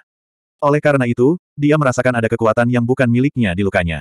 Kekuatan yang tak terlihat dan tak tersentuh inilah yang menyebabkan kerusakan. Oleh karena itu, Zichen mencoba menggunakan teknik dan kekuatan yang sempurna untuk mengeluarkan kekuatan misterius ini. Hasilnya, sebuah keajaiban terjadi. Kekuatan misterius pada luka Zichen menghilang dengan mudah. Pada saat yang sama, lubang berdarah di tubuhnya berhenti berdarah dalam sekejap mata dan membentuk bekas luka. Setelah beberapa tarikan napas, lukanya sembuh total dan seperti baru. Bagaimana ini mungkin? Pada saat ini, semua orang menatap Zichen dengan tak percaya, termasuk tubuh spiritual di kejauhan, kera iblis, dan pria berotot yang penuh percaya diri. Hanya ekspresi Su Mengyao yang tidak banyak berubah. Dia tampaknya sudah menduga hal ini akan terjadi. Kau benar-benar berhasil menembus kekuatan nomologis di sini. Baiklah, kuakui bahwa aku meremehkanmu, tetapi aku khawatir kau tidak akan seberuntung itu selanjutnya. Ekspresi pria kekar itu kembali tenang, tetapi masih ada keterkejutan yang tak terkendali di matanya. Dia mencengkeram tombak di tangannya dengan erat, menyebabkan penghalang spasial di sekitarnya bergetar. Kemudian, dia memegang tombak dan mengambil inisiatif untuk menyerang si Chen. Tinju tirani. Zichen tidak mau kalah saat dia mengepalkan tinjunya dan menyerang. Ini adalah teknik bawaan, tinju tirani. Teknik ini sangat kuat. Sarung tinju yang memancarkan cahaya menyala itu bertabrakan langsung dengan tombak. Kekuatan dahsyat meletus sekali lagi. Keduanya bergoyang sebelum menyerang lagi. Seketika, cahaya dan bayangan saling bersilangan saat mereka bertukar pukulan. Darah berwarna emas berceceran di langit. Hal ini disebabkan oleh tubuh sempurna Zichen yang menembus pertahanannya. Namun, luka-luka ini tidak fatal. Menatap lelaki kekar itu lagi, meski Zichen tidak berhasil menembus penghalang ruangnya, kekuatannya yang dahsyat membuatnya batuk darah. Lawan yang seimbang. Zichen bertarung dengan sangat keras. Selain itu, lawan ini mengenakan tempurung kura-kura, sehingga mustahil bagi Zichen untuk mengerahkan seluruh kekuatan tempurnya. Selama pertempuran, Zichen menggunakan hampir semua teknik yang bisa digunakannya. Tentu saja, semuanya adalah teknik bawaan. Namun, teknik-teknik ini hanya bisa menahan dan tidak bisa membunuh musuh. Dengan kata lain, kekuatan tempur keduanya setara saat ini. Bahkan jika mereka bertarung selama beberapa jam, bulan, atau tahun lagi, hasilnya akan sama saja. Di sekeliling mereka, wajah-wajah yang lain juga tampak serius. Ini jelas merupakan tahap pertama dari sembilan tahap jalan manusia. Namun, bahkan pada hari pertama, kekuatan tempur sang penjaga setara dengan Zichen. Bukankah tahap-tahap berikutnya akan lebih sulit? Pada saat ini, semua orang merasa sulit untuk melewati panggung. Mendaki Stairway to Heaven bahkan lebih sulit lagi. Aku masih punya satu langkah lagi. Kalau tidak berguna, aku hanya bisa meninggalkan pihak lain dan dengan paksa menyingkirkan panggung. Transmisi suara Zichen terdengar di lautan kesadaran mereka. Dengan kekuatan serangan itu, mereka berdua memperpendek jarak di antara mereka. Zichen mengatupkan kedua tangannya dan mulai membentuk segel. Segel demi segel muncul, dan aura yang dilepaskan dari tubuh Zichen semakin kuat. Tidak ada gunanya. Selama kau tidak bisa menghancurkan penghalang spasial ini, aku tidak akan mati. Dan penghalang spasial ini dibentuk oleh hukum tempat ini. Terus terang saja, aku mewakili hukum. Kau tidak bisa membunuhku, kata pria kekar itu dengan bangga. Zichen tidak mengatakan apa-apa. Sebaliknya, dia membentuk segel tangan lebih cepat dan lebih sering. Tepat saat segel tangan hampir selesai, Zichen menatap dingin ke arah pria berotot itu dan berkata dengan nada mengejek, ketika aku berada di tahap asal roh, aku membunuh seorang perwakilan aturan. Begitu segelnya selesai, Zichen menunjuk ke arah pria kekar di depannya. Kekuatan jari itu menyapu langit, mengguncang angkasa. Kehampaan tiba-tiba terbelah, dan jejak jari tebal jatuh dari langit dengan tekanan tak terbatas. Cahaya berkelap-kelip pada jejak jari itu, dan kilat emas dan perak merayap di sekitarnya seperti ular. Jejak itu dikelilingi oleh aura yang menakutkan. Ini adalah teknik tingkat bawaan, jari dewa petir, dan ditunjukkan oleh Xi Chen saat ini. Ia memiliki bentuk tetapi tidak memiliki kekuatan. Tidak ada yang perlu ditakutkan. Pria kekar itu mencibir dan mengarahkan tombaknya ke jari dewa petir. Kekuatan aneh muncul di tombak itu, lalu menyentuh jari itu. Kekuatan dahsyat meledak dan jari Dewa Petir itu runtuh. Pria kekar itu hanya mundur beberapa langkah. Sudah saya katakan bahwa ini tidak ada gunanya. Saya adalah perwakilan hukum, dan saya mewakili hukum. 1088. Zichen menunjuk jarinya lagi. Itu adalah segel tangan yang sama, kecepatan yang sama, dan jumlah Yuanli yang sama. Kekuatannya hampir sama dengan serangan sebelumnya. Akan tetapi, tindakannya yang hampir sama dengan tindakan sebelumnya itu membuat ekspresi pria kekar yang meremehkan itu berubah drastis pada saat berikutnya. Serangan Zichen tidak sama persis dengan serangan sebelumnya. Ada sedikit perbedaan di bagian tengah. Jari petir yang digunakannya awalnya adalah jari telunjuk, tetapi sekarang menjadi jari tengah. Selain itu, seluruh jari tengahnya mengarah vertikal ke pria kekar itu. Tentu saja, alasan mengapa ekspresi pria kekar itu berubah bukan karena tindakan Zichen yang tampaknya menghina, tetapi karena tulang falang yang sangat tidak mencolok yang terbang keluar dari sela-sela jarinya. Tulang falang itu tua dan kikuk, seperti tulang yang akan lapuk oleh angin dan matahari. Itu biasa saja tanpa titik terang. Namun, tulang jari inilah yang menyatu dengan jejak jari yang turun dari langit. Penggabungan ini sangat sempurna. Karena itu, jari Dewa Petir, yang sebelumnya tidak memiliki substansi batin dan hanya memiliki penampilan yang dangkal, sekarang memiliki substansi batin. Adapun substansi batin itu, secara alami adalah kekuatan ilahi di dalam jari Dewa Petir. Kekuatan ilahi ini sangat kecil, hanya jejak. Namun, jejak kekuatan ilahi ini setara dengan menambahkan kekuatan aturan ke dalam serangan biasa.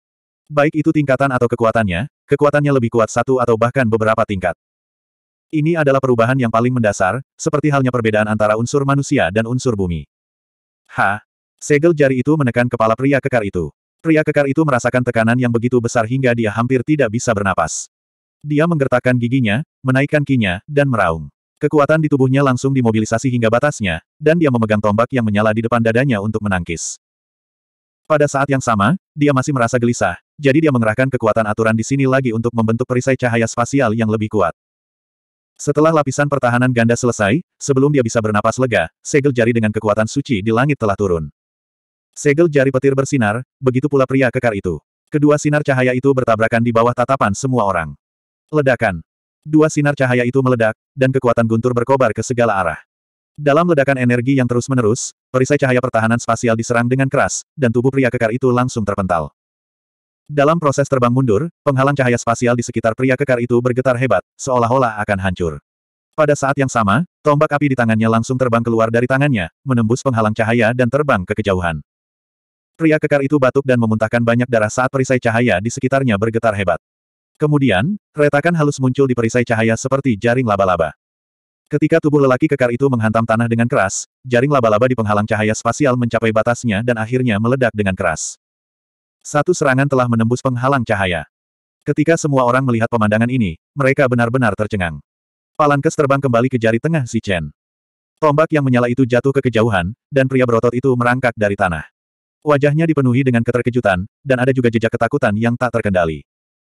Kamu, dia menunjuk Zi Chen dengan jarinya yang gemetar, kesombongannya sebelumnya sudah lama hilang. Mati. Untuk mencegah pria kekar itu menembus penghalang cahaya lagi, Zi Chen memutuskan untuk segera membunuhnya. Dia mengepalkan tinjunya dan melayangkan pukulan dari jauh. Cahaya emas dan perak mengalir, dan cahaya tinju melesat keluar dari tubuhnya seperti bola meriam, menghantam tubuh pria kekar itu. Tanpa penghalang cahaya, kekuatan sejati pria kekar itu hanya di alam asal fana. Tidak perlu takut padanya. Di depan Zichen, keberadaan seperti itu hanya masalah satu pukulan. Cahaya tinju itu mendarat di tubuh lelaki kekar itu dan meledak. Perjuangan terakhirnya sia-sia. Saat cahaya tinju itu meledak, tubuhnya juga meledak. Di langit, Potongan-potongan daging beterbangan, dan hujan darah turun. Tampaknya di dunia ini, tidak peduli siapa orangnya, darah di tubuh mereka tiba-tiba akan meningkat banyak. Selama mereka mati, akan ada hujan darah, dan jumlahnya banyak. Sebuah jari dan sebuah pukulan telah membunuh lelaki kekar itu. Tahap pertama telah dilalui begitu saja. Kedengarannya mudah, tetapi sebenarnya, itu tidak mudah. LV Peng melangkah maju lagi dan mengambil tombak api yang terjatuh. Tidak ada lagi serangan di sepanjang jalan, jadi dia mengambil kembali tombak itu. Semua orang melihatnya dengan saksama. Sepertinya tidak ada yang istimewa tentang hal itu. Setelah Zichen memeriksa setiap bagian tombak, semua orang sampai pada kesimpulan yang sama. Itu adalah senjata jiwa, dan tidak ada efek khusus padanya. Namun saat ini, hampir saja merenggut nyawa LV Peng. Menurutku, itu pasti karena dunia ini. Tidak ada hubungannya dengan tombak. Bukan hanya kita, tetapi yang lain juga seperti ini. Su Mengyao tiba-tiba berkata. Semua orang melepaskan indera spiritual mereka dan memperluasnya ke medan perang yang akan segera berakhir. Saat mereka memperluas indera spiritual mereka, mereka menemukan banyak orang terluka tergeletak di tanah. Luka mereka tidak serius, dan bisa dikatakan hanya luka dangkal. Namun, pendarahan tidak dapat dihentikan. Sama halnya dengan situasi LV Peng, saat darah mengalir keluar, disertai dengan hilangnya kekuatan hidup. Mereka menemukan lebih dari sepuluh situasi serupa. Pada akhirnya, semua orang sampai pada kesimpulan bahwa dunia ini sangat aneh, sangat aneh. Di bawah tanah dunia ini, terdapat deretan rune yang menutupi seluruh tanah. Setiap kali darah jatuh dan meresap ke dalam tanah, rune akan menyala dan menyerap darah. Pada saat yang sama, darah akan diangkut melalui rune ke ujung rune. Di ujung garis, ada lautan darah. Gelombang darah bergolak di lautan darah, dan di tengah lautan darah, ada dua sosok hitam duduk bersila. Mereka melayang di atas lautan darah, dan tidak peduli bagaimana lautan darah bergolak, mereka tidak akan tenggelam. Keduanya adalah dua raja iblis sebelumnya. Mereka tidak menyangka akan datang ke sini. Saat ini, mereka menggunakan darah dan kekuatan hidup di lautan darah untuk menyembuhkan luka-luka mereka dan meningkatkan kekuatan mereka. Di luar lautan darah berdirilah sang pangeran dan iblis yang telah masuk sebelumnya. Keduanya menjaga dua penguasa iblis di luar lautan darah. Pangeran, para raja iblis belum pulih dari luka-luka mereka. Apakah mereka akan datang? Melihat para raja iblis yang sedang pulih, sang iblis bertanya. Setelah hening sejenak, sang pangeran menggelengkan kepalanya dan berkata, tidak seharusnya secepat itu. Kita terbang langsung ke sini. Para penguasa iblis berkata sebelumnya bahwa manusia-manusia itu harus melewati dan menaiki tangga menuju surga. Tapi lihatlah, tangga menuju surga belum terwujud. Itu pasti butuh waktu. Iblis itu mengangguk lalu mendesah, aku benar-benar tidak menyangka Zichen mampu memanggil api kehidupan lagi. Bahkan para penguasa iblis pun terkejut dengan kehebatannya dalam bertarung. Orang ini sungguh luar biasa. Berbicara tentang Zichen, ekspresi sang pangeran langsung berubah jelek. Memikirkan rasa takut yang dirasakannya saat menghadapi Zichen, jejak kebencian muncul di matanya. Dia langsung mendengus, dia hanya manusia. Begitu Demon Sovereign pulih, menghancurkannya hanya dalam hitungan menit. Zichen dan yang lainnya tidak tahu apa yang terjadi di ujung rune. Setelah membunuh pria kekar yang menghalangi jalan mereka, tubuh spiritual di sekitarnya menatap Zichen dan yang lainnya dengan ketakutan dan bergegas maju. Pada saat yang sama, pertempuran berakhir. Kelompok Devouring Wolves semuanya telah terbunuh, dan banyak kultivator manusia juga telah meninggal. Namun, masih banyak orang yang hidup, dan mereka bergegas ke kedalaman. Selama waktu ini, ketika mereka melewati Zichen, orang-orang yang mengenalnya mengangguk dan menyapanya. Semua orang melangkah ke panggung kedua, tetapi Zichen dan yang lainnya tidak, karena mereka masih memiliki beberapa masalah pribadi untuk ditangani. Putri ketujuh dihentikan oleh kera iblis, dan pada saat yang sama, sekelompok iblis juga dihentikan. Di punggung Molin, putri ketujuh menatap kera iblis yang menghalangi jalannya dan sedikit mengernyit. Dia bertanya, kera pertempuran pembelah langit, sebagai anggota klan iblis, mengapa kau menghentikanku? Si kera iblis menyeringai dan berkata, aku bukan anggota klan iblis. Aku hanya seekor kera iblis. Mengenai mengapa aku menghentikanmu, apakah yang mulia tidak tahu? Atau apakah yang mulia pura-pura bodoh? Selain si kera iblis, Zhang Haotian dan yang lainnya juga menghalangi jalannya. Su Mengyao sedang memeriksa luka-luka Zichen, dan mereka berdua belum tiba. Aku tidak mengerti. Apakah kau menghentikanku karena kau ingin memulai perang dengan klan iblis? Suara putri ketujuh tiba-tiba menjadi dingin. Kami tidak berani memulai perang dengan klan iblis. Kami hanya ingin mendapatkan kembali hadiah yang menjadi hak kami. Ini terjadi belum lama ini, dan Yang Mulia secara pribadi menjanjikannya. Jangan bilang Anda sudah melupakannya. LV Peng tersenyum tipis. Meskipun kedua belah pihak saling berbicara dan tertawa, suasana sudah mencapai titik di mana pedang saling terhunus. Begitu seseorang berbicara, pasti akan terjadi pertempuran sengit lagi. Di antara para iblis, ada niat membunuh, tetapi ada tiga orang yang relatif tenang. Satu adalah putri ketujuh, yang lain adalah iblis setengah baya, dan yang terakhir adalah tunggangan putri ketujuh, Molin. Tidakkah kau lihat bahwa kami juga telah tertipu? Kata iblis setengah baya itu dengan acuh tak acuh. Itu urusan klan iblismu, kami tidak pernah ikut campur. Aku hanya tahu bahwa kami hampir kehilangan nyawa untuk membantu Yang Mulia. Kami bisa mengorbankan 30% kekuatan kami yang telah Anda janjikan, tetapi kami tidak boleh kurang dari hadiah yang telah Anda janjikan. Zichen memegang tombak dan menarik Su Mengyao. Keduanya, yang satu tinggi dan yang satu pendek, saling berpandangan, dan tak satu pun dari mereka menyerah. Putri ketujuh bertanya, apakah kamu benar-benar menginginkannya? Zichen berkata, itulah yang pantas kita dapatkan. Putri ketujuh tersenyum, baiklah, ini dia. Dia dengan tegas mengeluarkan kristal penerangan iblis yang dijanjikan dan melemparkannya ke Zichen. Tepat saat Zichen mengambilnya, Putri ketujuh berkata, Zichen, kamu memiliki kepribadian yang kuat. Aku menyukainya. Aku ingin tahu apakah kamu tertarik untuk menjadi pangeran permaisuri klan iblis. Zichen mengerutkan kening dan tidak menjawab pertanyaan yang membosankan seperti itu. Setelah serangkaian tawa, putri ketujuh membawa pergi para setan. Di samping Zichen, Su Mengyao menatap punggung putri ketujuh, dan ada sedikit ketidaksenangan di wajahnya. Zichen merupakan orang pertama yang melewati level pertama dan mendapatkan hadiah, namun dia juga merupakan orang terakhir yang memasuki level kedua.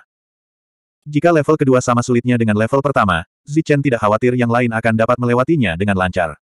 Jika level kedua lebih mudah daripada level pertama, maka jelas, seharusnya tidak ada hadiah. Ini hanyalah tebakan Zichen, namun di dunia yang aneh ini, wajar saja jika ada beberapa hal aneh yang tidak masuk akal. Tingkat kedua tidak terlalu sulit. Beberapa roh berhasil melewatinya dan berhasil menerima hadiah. Prosesnya jauh lebih sederhana daripada pengalaman Zichen, tetapi hadiahnya tidak kalah dengan kualitas tombak api.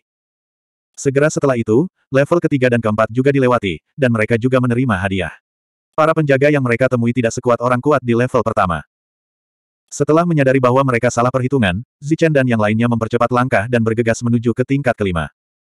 Saat mereka melewati level-level tersebut, berbagai jenis binatang purba bermunculan, dan mereka membentuk tim untuk membunuh manusia. Darah di tanah semakin banyak. Selama mereka melewati level berikutnya, darah di level sebelumnya akan otomatis hilang saat mereka mencapai level berikutnya.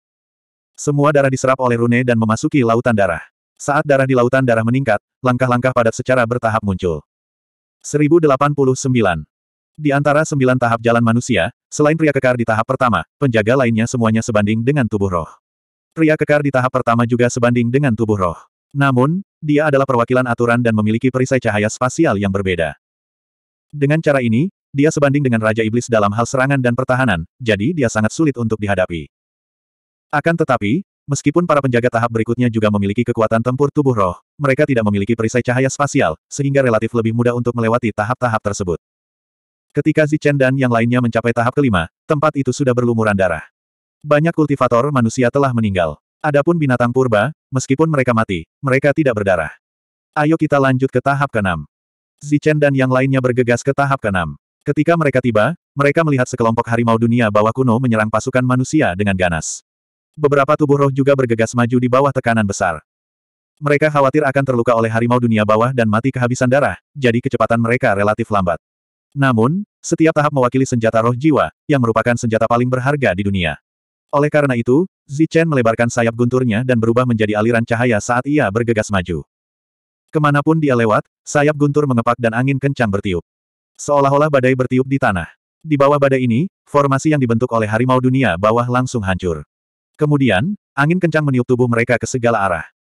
Selain harimau dunia bawah, para pembudidaya manusia yang tidak dapat menghindar tepat waktu juga terpental.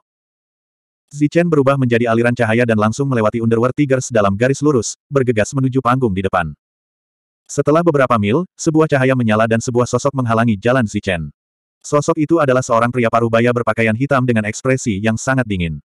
Dia memegang pedang panjang di tangannya. Ujung pedang itu dingin dan mematikan. Kesadaran jiwa yang kuat dan dingin menyebar.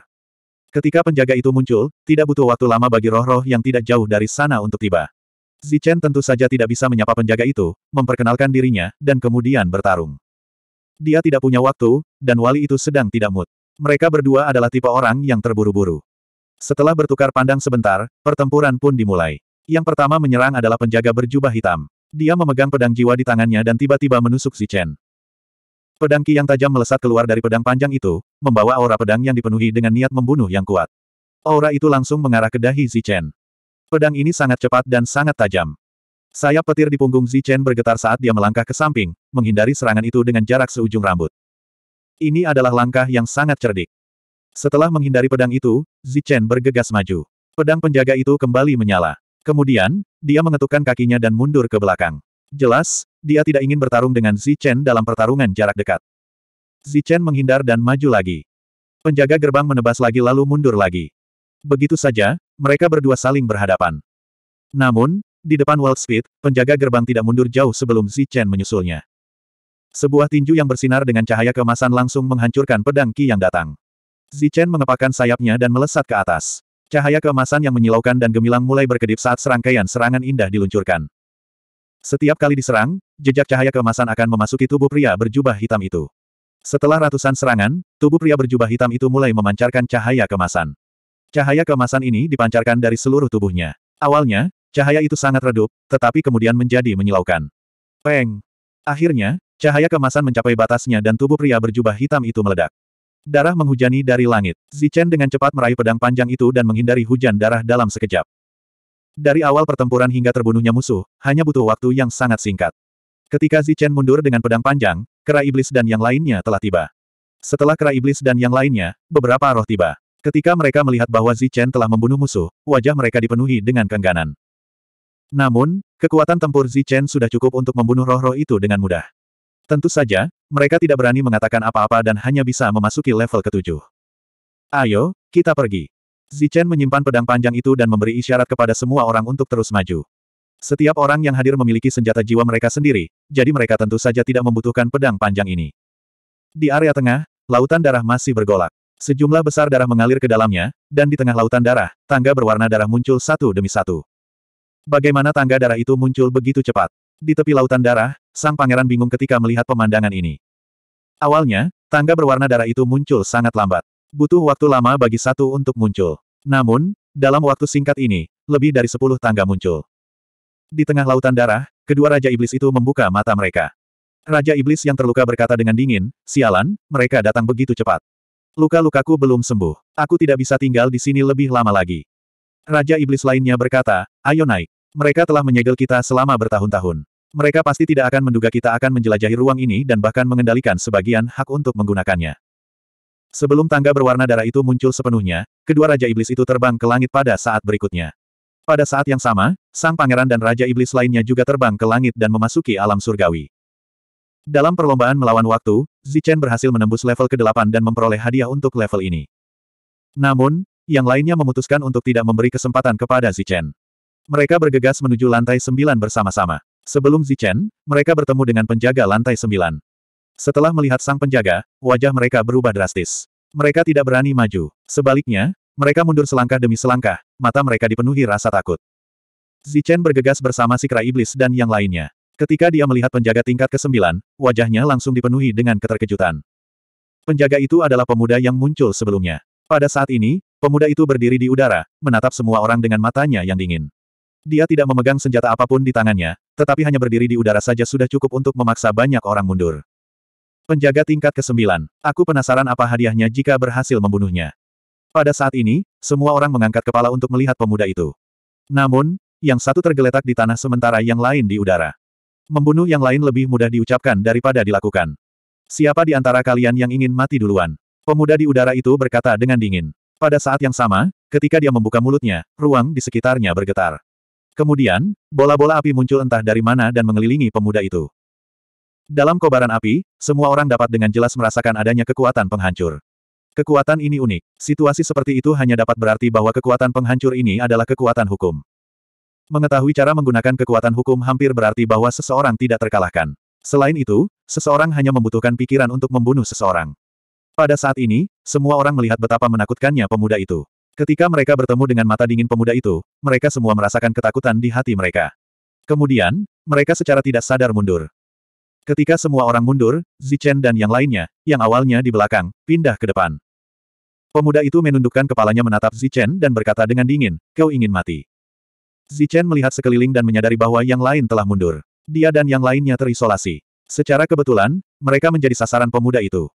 Pemuda ini telah menguasai kekuatan hukum. Mustahil untuk membunuhnya. Mengapa ada tingkatan seperti itu? LV Peng mengerutkan kening. Pada saat yang sama, ia memberi isyarat kepada Zichen untuk tidak mengambil risiko. Aneh sekali. Ini situasi yang hampir pasti akan berakhir dengan kematian. Tapi karena ini tantangan, bagaimana mungkin tidak ada peluang untuk bertahan hidup? Su Mengyao juga bingung. Yang lain bahkan lebih bingung. Pada saat yang sama, mereka tidak ingin Chen mengambil risiko. Mereka memberi isyarat kepada Chen untuk mundur. Kenapa? Tidak berani maju. Apakah kalian menungguku mengambil inisiatif dan membunuh kalian satu persatu? Melihat kelompok di depannya hendak mundur, pemuda itu berkata dengan dingin. Api di sekelilingnya menjadi lebih ganas. Kekuatan penghancur mengguncang sekelilingnya. Zichen menatap orang-orang di sekitarnya lalu kembali menatap pemuda itu. Dunia ini berada di bawah kendalinya. Tidak ada cara baginya untuk melarikan diri. Ia hanya bisa menguatkan diri dan melangkah maju. Ia berteriak, aku akan melakukannya. Su Mengyao dan yang lainnya menatap Zichen dan wajah mereka berubah. Haha, memang ada orang yang tidak takut mati. Karena kau ingin mati, aku akan memenuhi keinginanmu. Pemuda itu tertawa. Aku pikir kaulah yang akan mati. Ketika Zichen hendak melangkah maju, dia memutuskan untuk menyerang. Dan dia menggunakan kekuatan penuhnya. Adapun serangan terkuatnya sejauh ini, tentu saja itu adalah jari Dewa Petir. Dia telah lama melatih jari ini di lautan guntur. Namun, dia tidak tahu apakah itu karena dia belum pernah bertemu musuh. Meskipun dia sangat akrab dengan teknik ini, dia belum pernah memicu tulang jari. Adapun Zichen, dia hampir lupa tentang keberadaan Palankes. Hanya ketika dia bertemu dengan pria kekar itu dan menggunakan jari Dewa Petir, dia merasakan kehadiran Palankes. Selain itu, ada kekuatan misterius yang datang dari Palankes. Kekuatan ini hampir tidak bisa disebut kekuatan Tuhan. Zichen membentuk segel dengan tangannya dan kemudian menunjuk jarinya. Tulang jari itu terbang keluar dan menyatu dengan guntur di langit. Itu berubah menjadi petir tebal yang seperti naga guntur. Selain kuat, hal yang paling menakutkan tentang petir ini adalah kekuatan dewa. Jari dewa petir turun dari langit. Jadi, tidak masalah apakah lawan bisa terbang atau tidak. Tidak masalah apakah lawan bisa terbang atau tidak. Akan lebih baik jika lawan bisa terbang. Pemuda itu tampak terkejut saat melihat tanda jari itu. Namun, dia tidak takut. Dia mengangkat tangannya dan memukulkan telapak tangannya ke langit. Di bawah telapak tangan ini, energi api di sekitarnya berkumpul di depannya dan berubah menjadi naga api penghancur yang menyala-nyala. Naga itu menunjuk ke arah petir di langit. Ledakan. Kedua jenis energi itu bertabrakan dan meledak dengan ribuan suara guntur. Kedua jenis energi itu mulai bertabrakan dan menimbulkan malapetaka. Pada saat yang sama, kekuatan dewa dan kekuatan aturan juga mulai bertabrakan. Karena mereka berada di langit, ketika kekuatan penghancur menyebar, tubuh pemuda itu pun ikut tersapu. Begitu pemuda itu tersapu, perisai cahaya di sekelilingnya mulai terdistorsi dengan hebat. Seolah-olah tidak dapat menahannya dan akan meledak. Di langit, Kekuatan penghancur berkobar selama sepuluh tarikan napas penuh. Setelah sepuluh tarikan napas, kekuatan itu perlahan menghilang. Namun, selama sepuluh tarikan napas ini, tidak ada suara yang terdengar dari pemuda itu. Tidak ada raungan marah, tidak ada teriakan melengking. Seolah-olah dia telah mati saat dia terseret oleh kekuatan penghancur itu. Namun, tidak ada seorang pun yang yakin bahwa pemuda itu telah meninggal karena tidak ada setetes darah pun yang jatuh dari langit. Tepat ketika semua orang menebak apakah pemuda itu hidup atau mati, kekuatan penghancur di langit menghilang dan tulang jari itu terbang kembali. Mata semua orang tertuju ke langit. Ketika kekuatan penghancur menghilang, mereka melihat sosok pemuda itu. Kemudian, mereka kehilangan ketenangan dan berteriak. 1090. Tubuh pemuda itu terbakar oleh api, dan kekuatan penghancur dari aturan itu bergetar dalam kehampaan. Dia tidak menyembunyikan niat membunuhnya saat dia mengatakan, kamu. Tentu saja ada kata-kata lain di balik kata, Anda. Semua orang menduga bahwa itu adalah, kamu akan mati, kamu akan mati, dan kamu akan mati.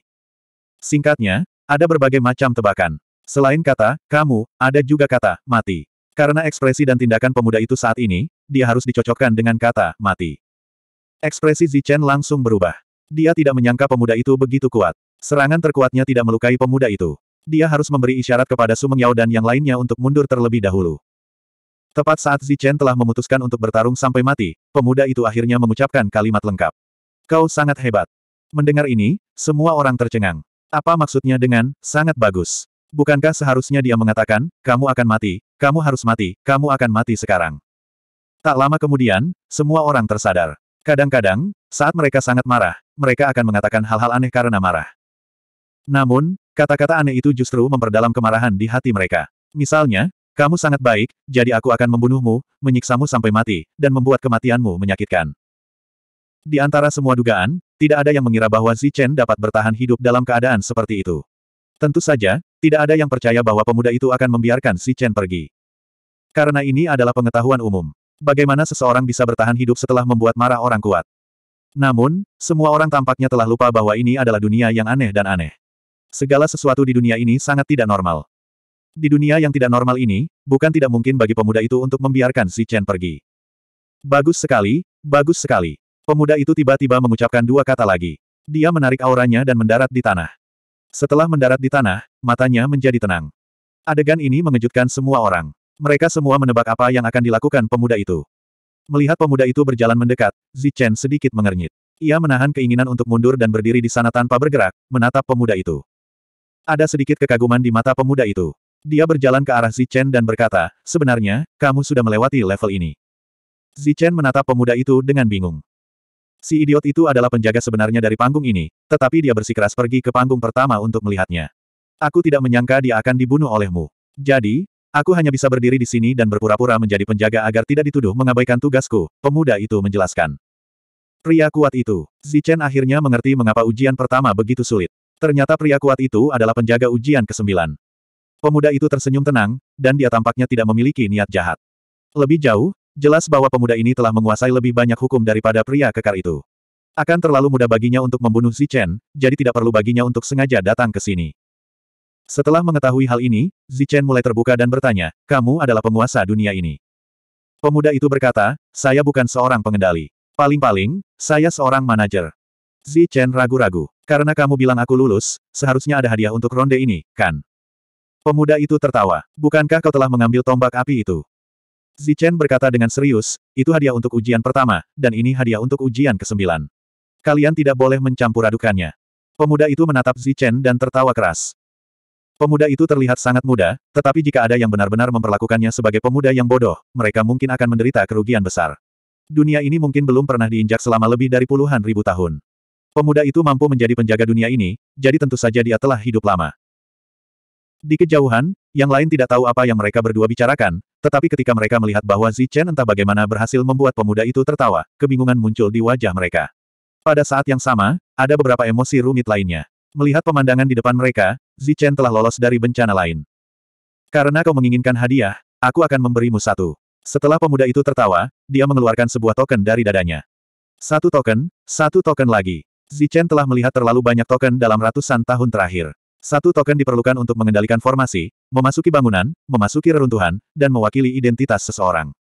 Token itu terbakar oleh api. Ketika Zichen mengambilnya, dia terkejut karena ternyata itu bukan token biasa, melainkan sepotong sisik merah menyala yang telah dipoles dengan hati-hati agar tampak seperti token. Ini, sambil memegang sisik merah menyala di tangannya, ekspresi Zichen langsung berubah. Bertahun-tahun yang lalu, dia juga memiliki sepotong sisik seperti ini. Itu adalah tanda untuk memasuki tanah pemakaman suci, tetapi setelah dia memasuki kedalaman, sisik itu tiba-tiba menghilang. Pemuda itu menepuk bahu Zichen dan berkata, ya, tebakanmu benar. Ini adalah token yang sama yang kamu miliki bertahun-tahun yang lalu. Mata Zichen tiba-tiba membelalak. Dia menatap pemuda itu dan berkata dengan suara gemetar, kau, kau mengenalku.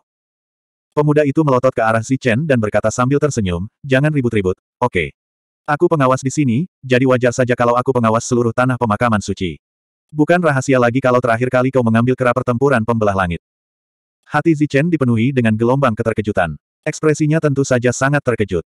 Lihatlah dirimu. Bagaimanapun, kau sekarang adalah manusia terkuat di alam yang sama. Mengapa kau bersikap seolah-olah kau belum pernah melihat dunia? Jika aku mengatakan bahwa ini adalah jalan manusia yang hanya bisa dilalui oleh para kultivator manusia, apakah kau akan terkejut? Jika aku katakan kepadamu bahwa jika kamu berada di alam bumi, kamu akan mengambil jalan bumi menuju tangga surga dan bukan jalan manusia, apakah kamu akan terkejut? Jika aku katakan kepadamu bahwa jika kamu berada di alam surga, kamu akan menempuh jalan surga langsung ke alam surga, apakah kamu masih akan terkejut? Tentu saja, mungkin Anda sudah menebaknya, jadi wajar saja Anda tidak akan terkejut. Namun, jika saya memberitahu Anda bahwa kedua jalur itu juga berada di bawah kendali saya, Anda akan terkejut. Setelah berkata demikian, pemuda itu tersenyum dan menatap Zichen yang sudah terkejut, kaget, dan ngeri. Kamu, kamu sudah bertemu senior. Zichen yang terkejut tiba-tiba bereaksi dan langsung membungkuk kepada pemuda itu. Jelas, dia sudah memahami sebuah prinsip dari kata-kata pendek pemuda itu. Latar belakang pemuda ini luar biasa, dan kekuatannya bahkan lebih luar biasa lagi. Agar dia muncul di alam ini, dia pasti telah terpengaruh oleh aturan. Jika dia berada di dunia luar, dia seharusnya adalah eksistensi di alam asal surga. Terlebih lagi, karena pemuda itu telah menyebutkan sesuatu dari beberapa tahun yang lalu, jelaslah bahwa masalah mengambil kera pertempuran pembelah langit telah disetujui olehnya. Kalau tidak, siapa yang bisa mengambil kera pertempuran pembelah langit yang luar biasa dari sini? Baiklah, jangan terlalu sopan. Saat ini, jika aku tidak mengandalkan kekuatan aturan, aku tidak akan sebanding denganmu. Tidak perlu memanggilku senior. Pemuda itu melambaikan tangannya dan tersenyum. Zichen mengangguk, tetapi keterkejutan di hatinya masih belum hilang. Dia sudah menduga bahwa pemuda itu luar biasa, tetapi dia tidak menyangka dia akan menjadi luar biasa sejauh ini. Berdiri di samping pemuda itu, Zichen sedikit hormat. Pemuda itu melambaikan tangannya lagi. Baiklah, cepatlah pergi. Kau telah melewati jalan manusia ini. Naiki tangga langit dan masuki alam surga. Zichen bertanya dengan hormat, saya ingin tahu apakah senior dapat memberitahu kami apa yang ada di alam surga. Ada bahaya, dan ada pertemuan yang kebetulan. Jawaban pemuda itu, di mata Zichen, jelas tidak masuk akal, dan itu benar-benar tidak masuk akal. Namun, dia tentu saja tidak berani membantah, dan hanya bisa bertanya lagi. Senior, bisakah Anda lebih spesifik? Oh, spesifik. Pemuda itu tersenyum mengejek. Ada bahaya yang mengancam jiwa, dan kau bahkan bisa mati.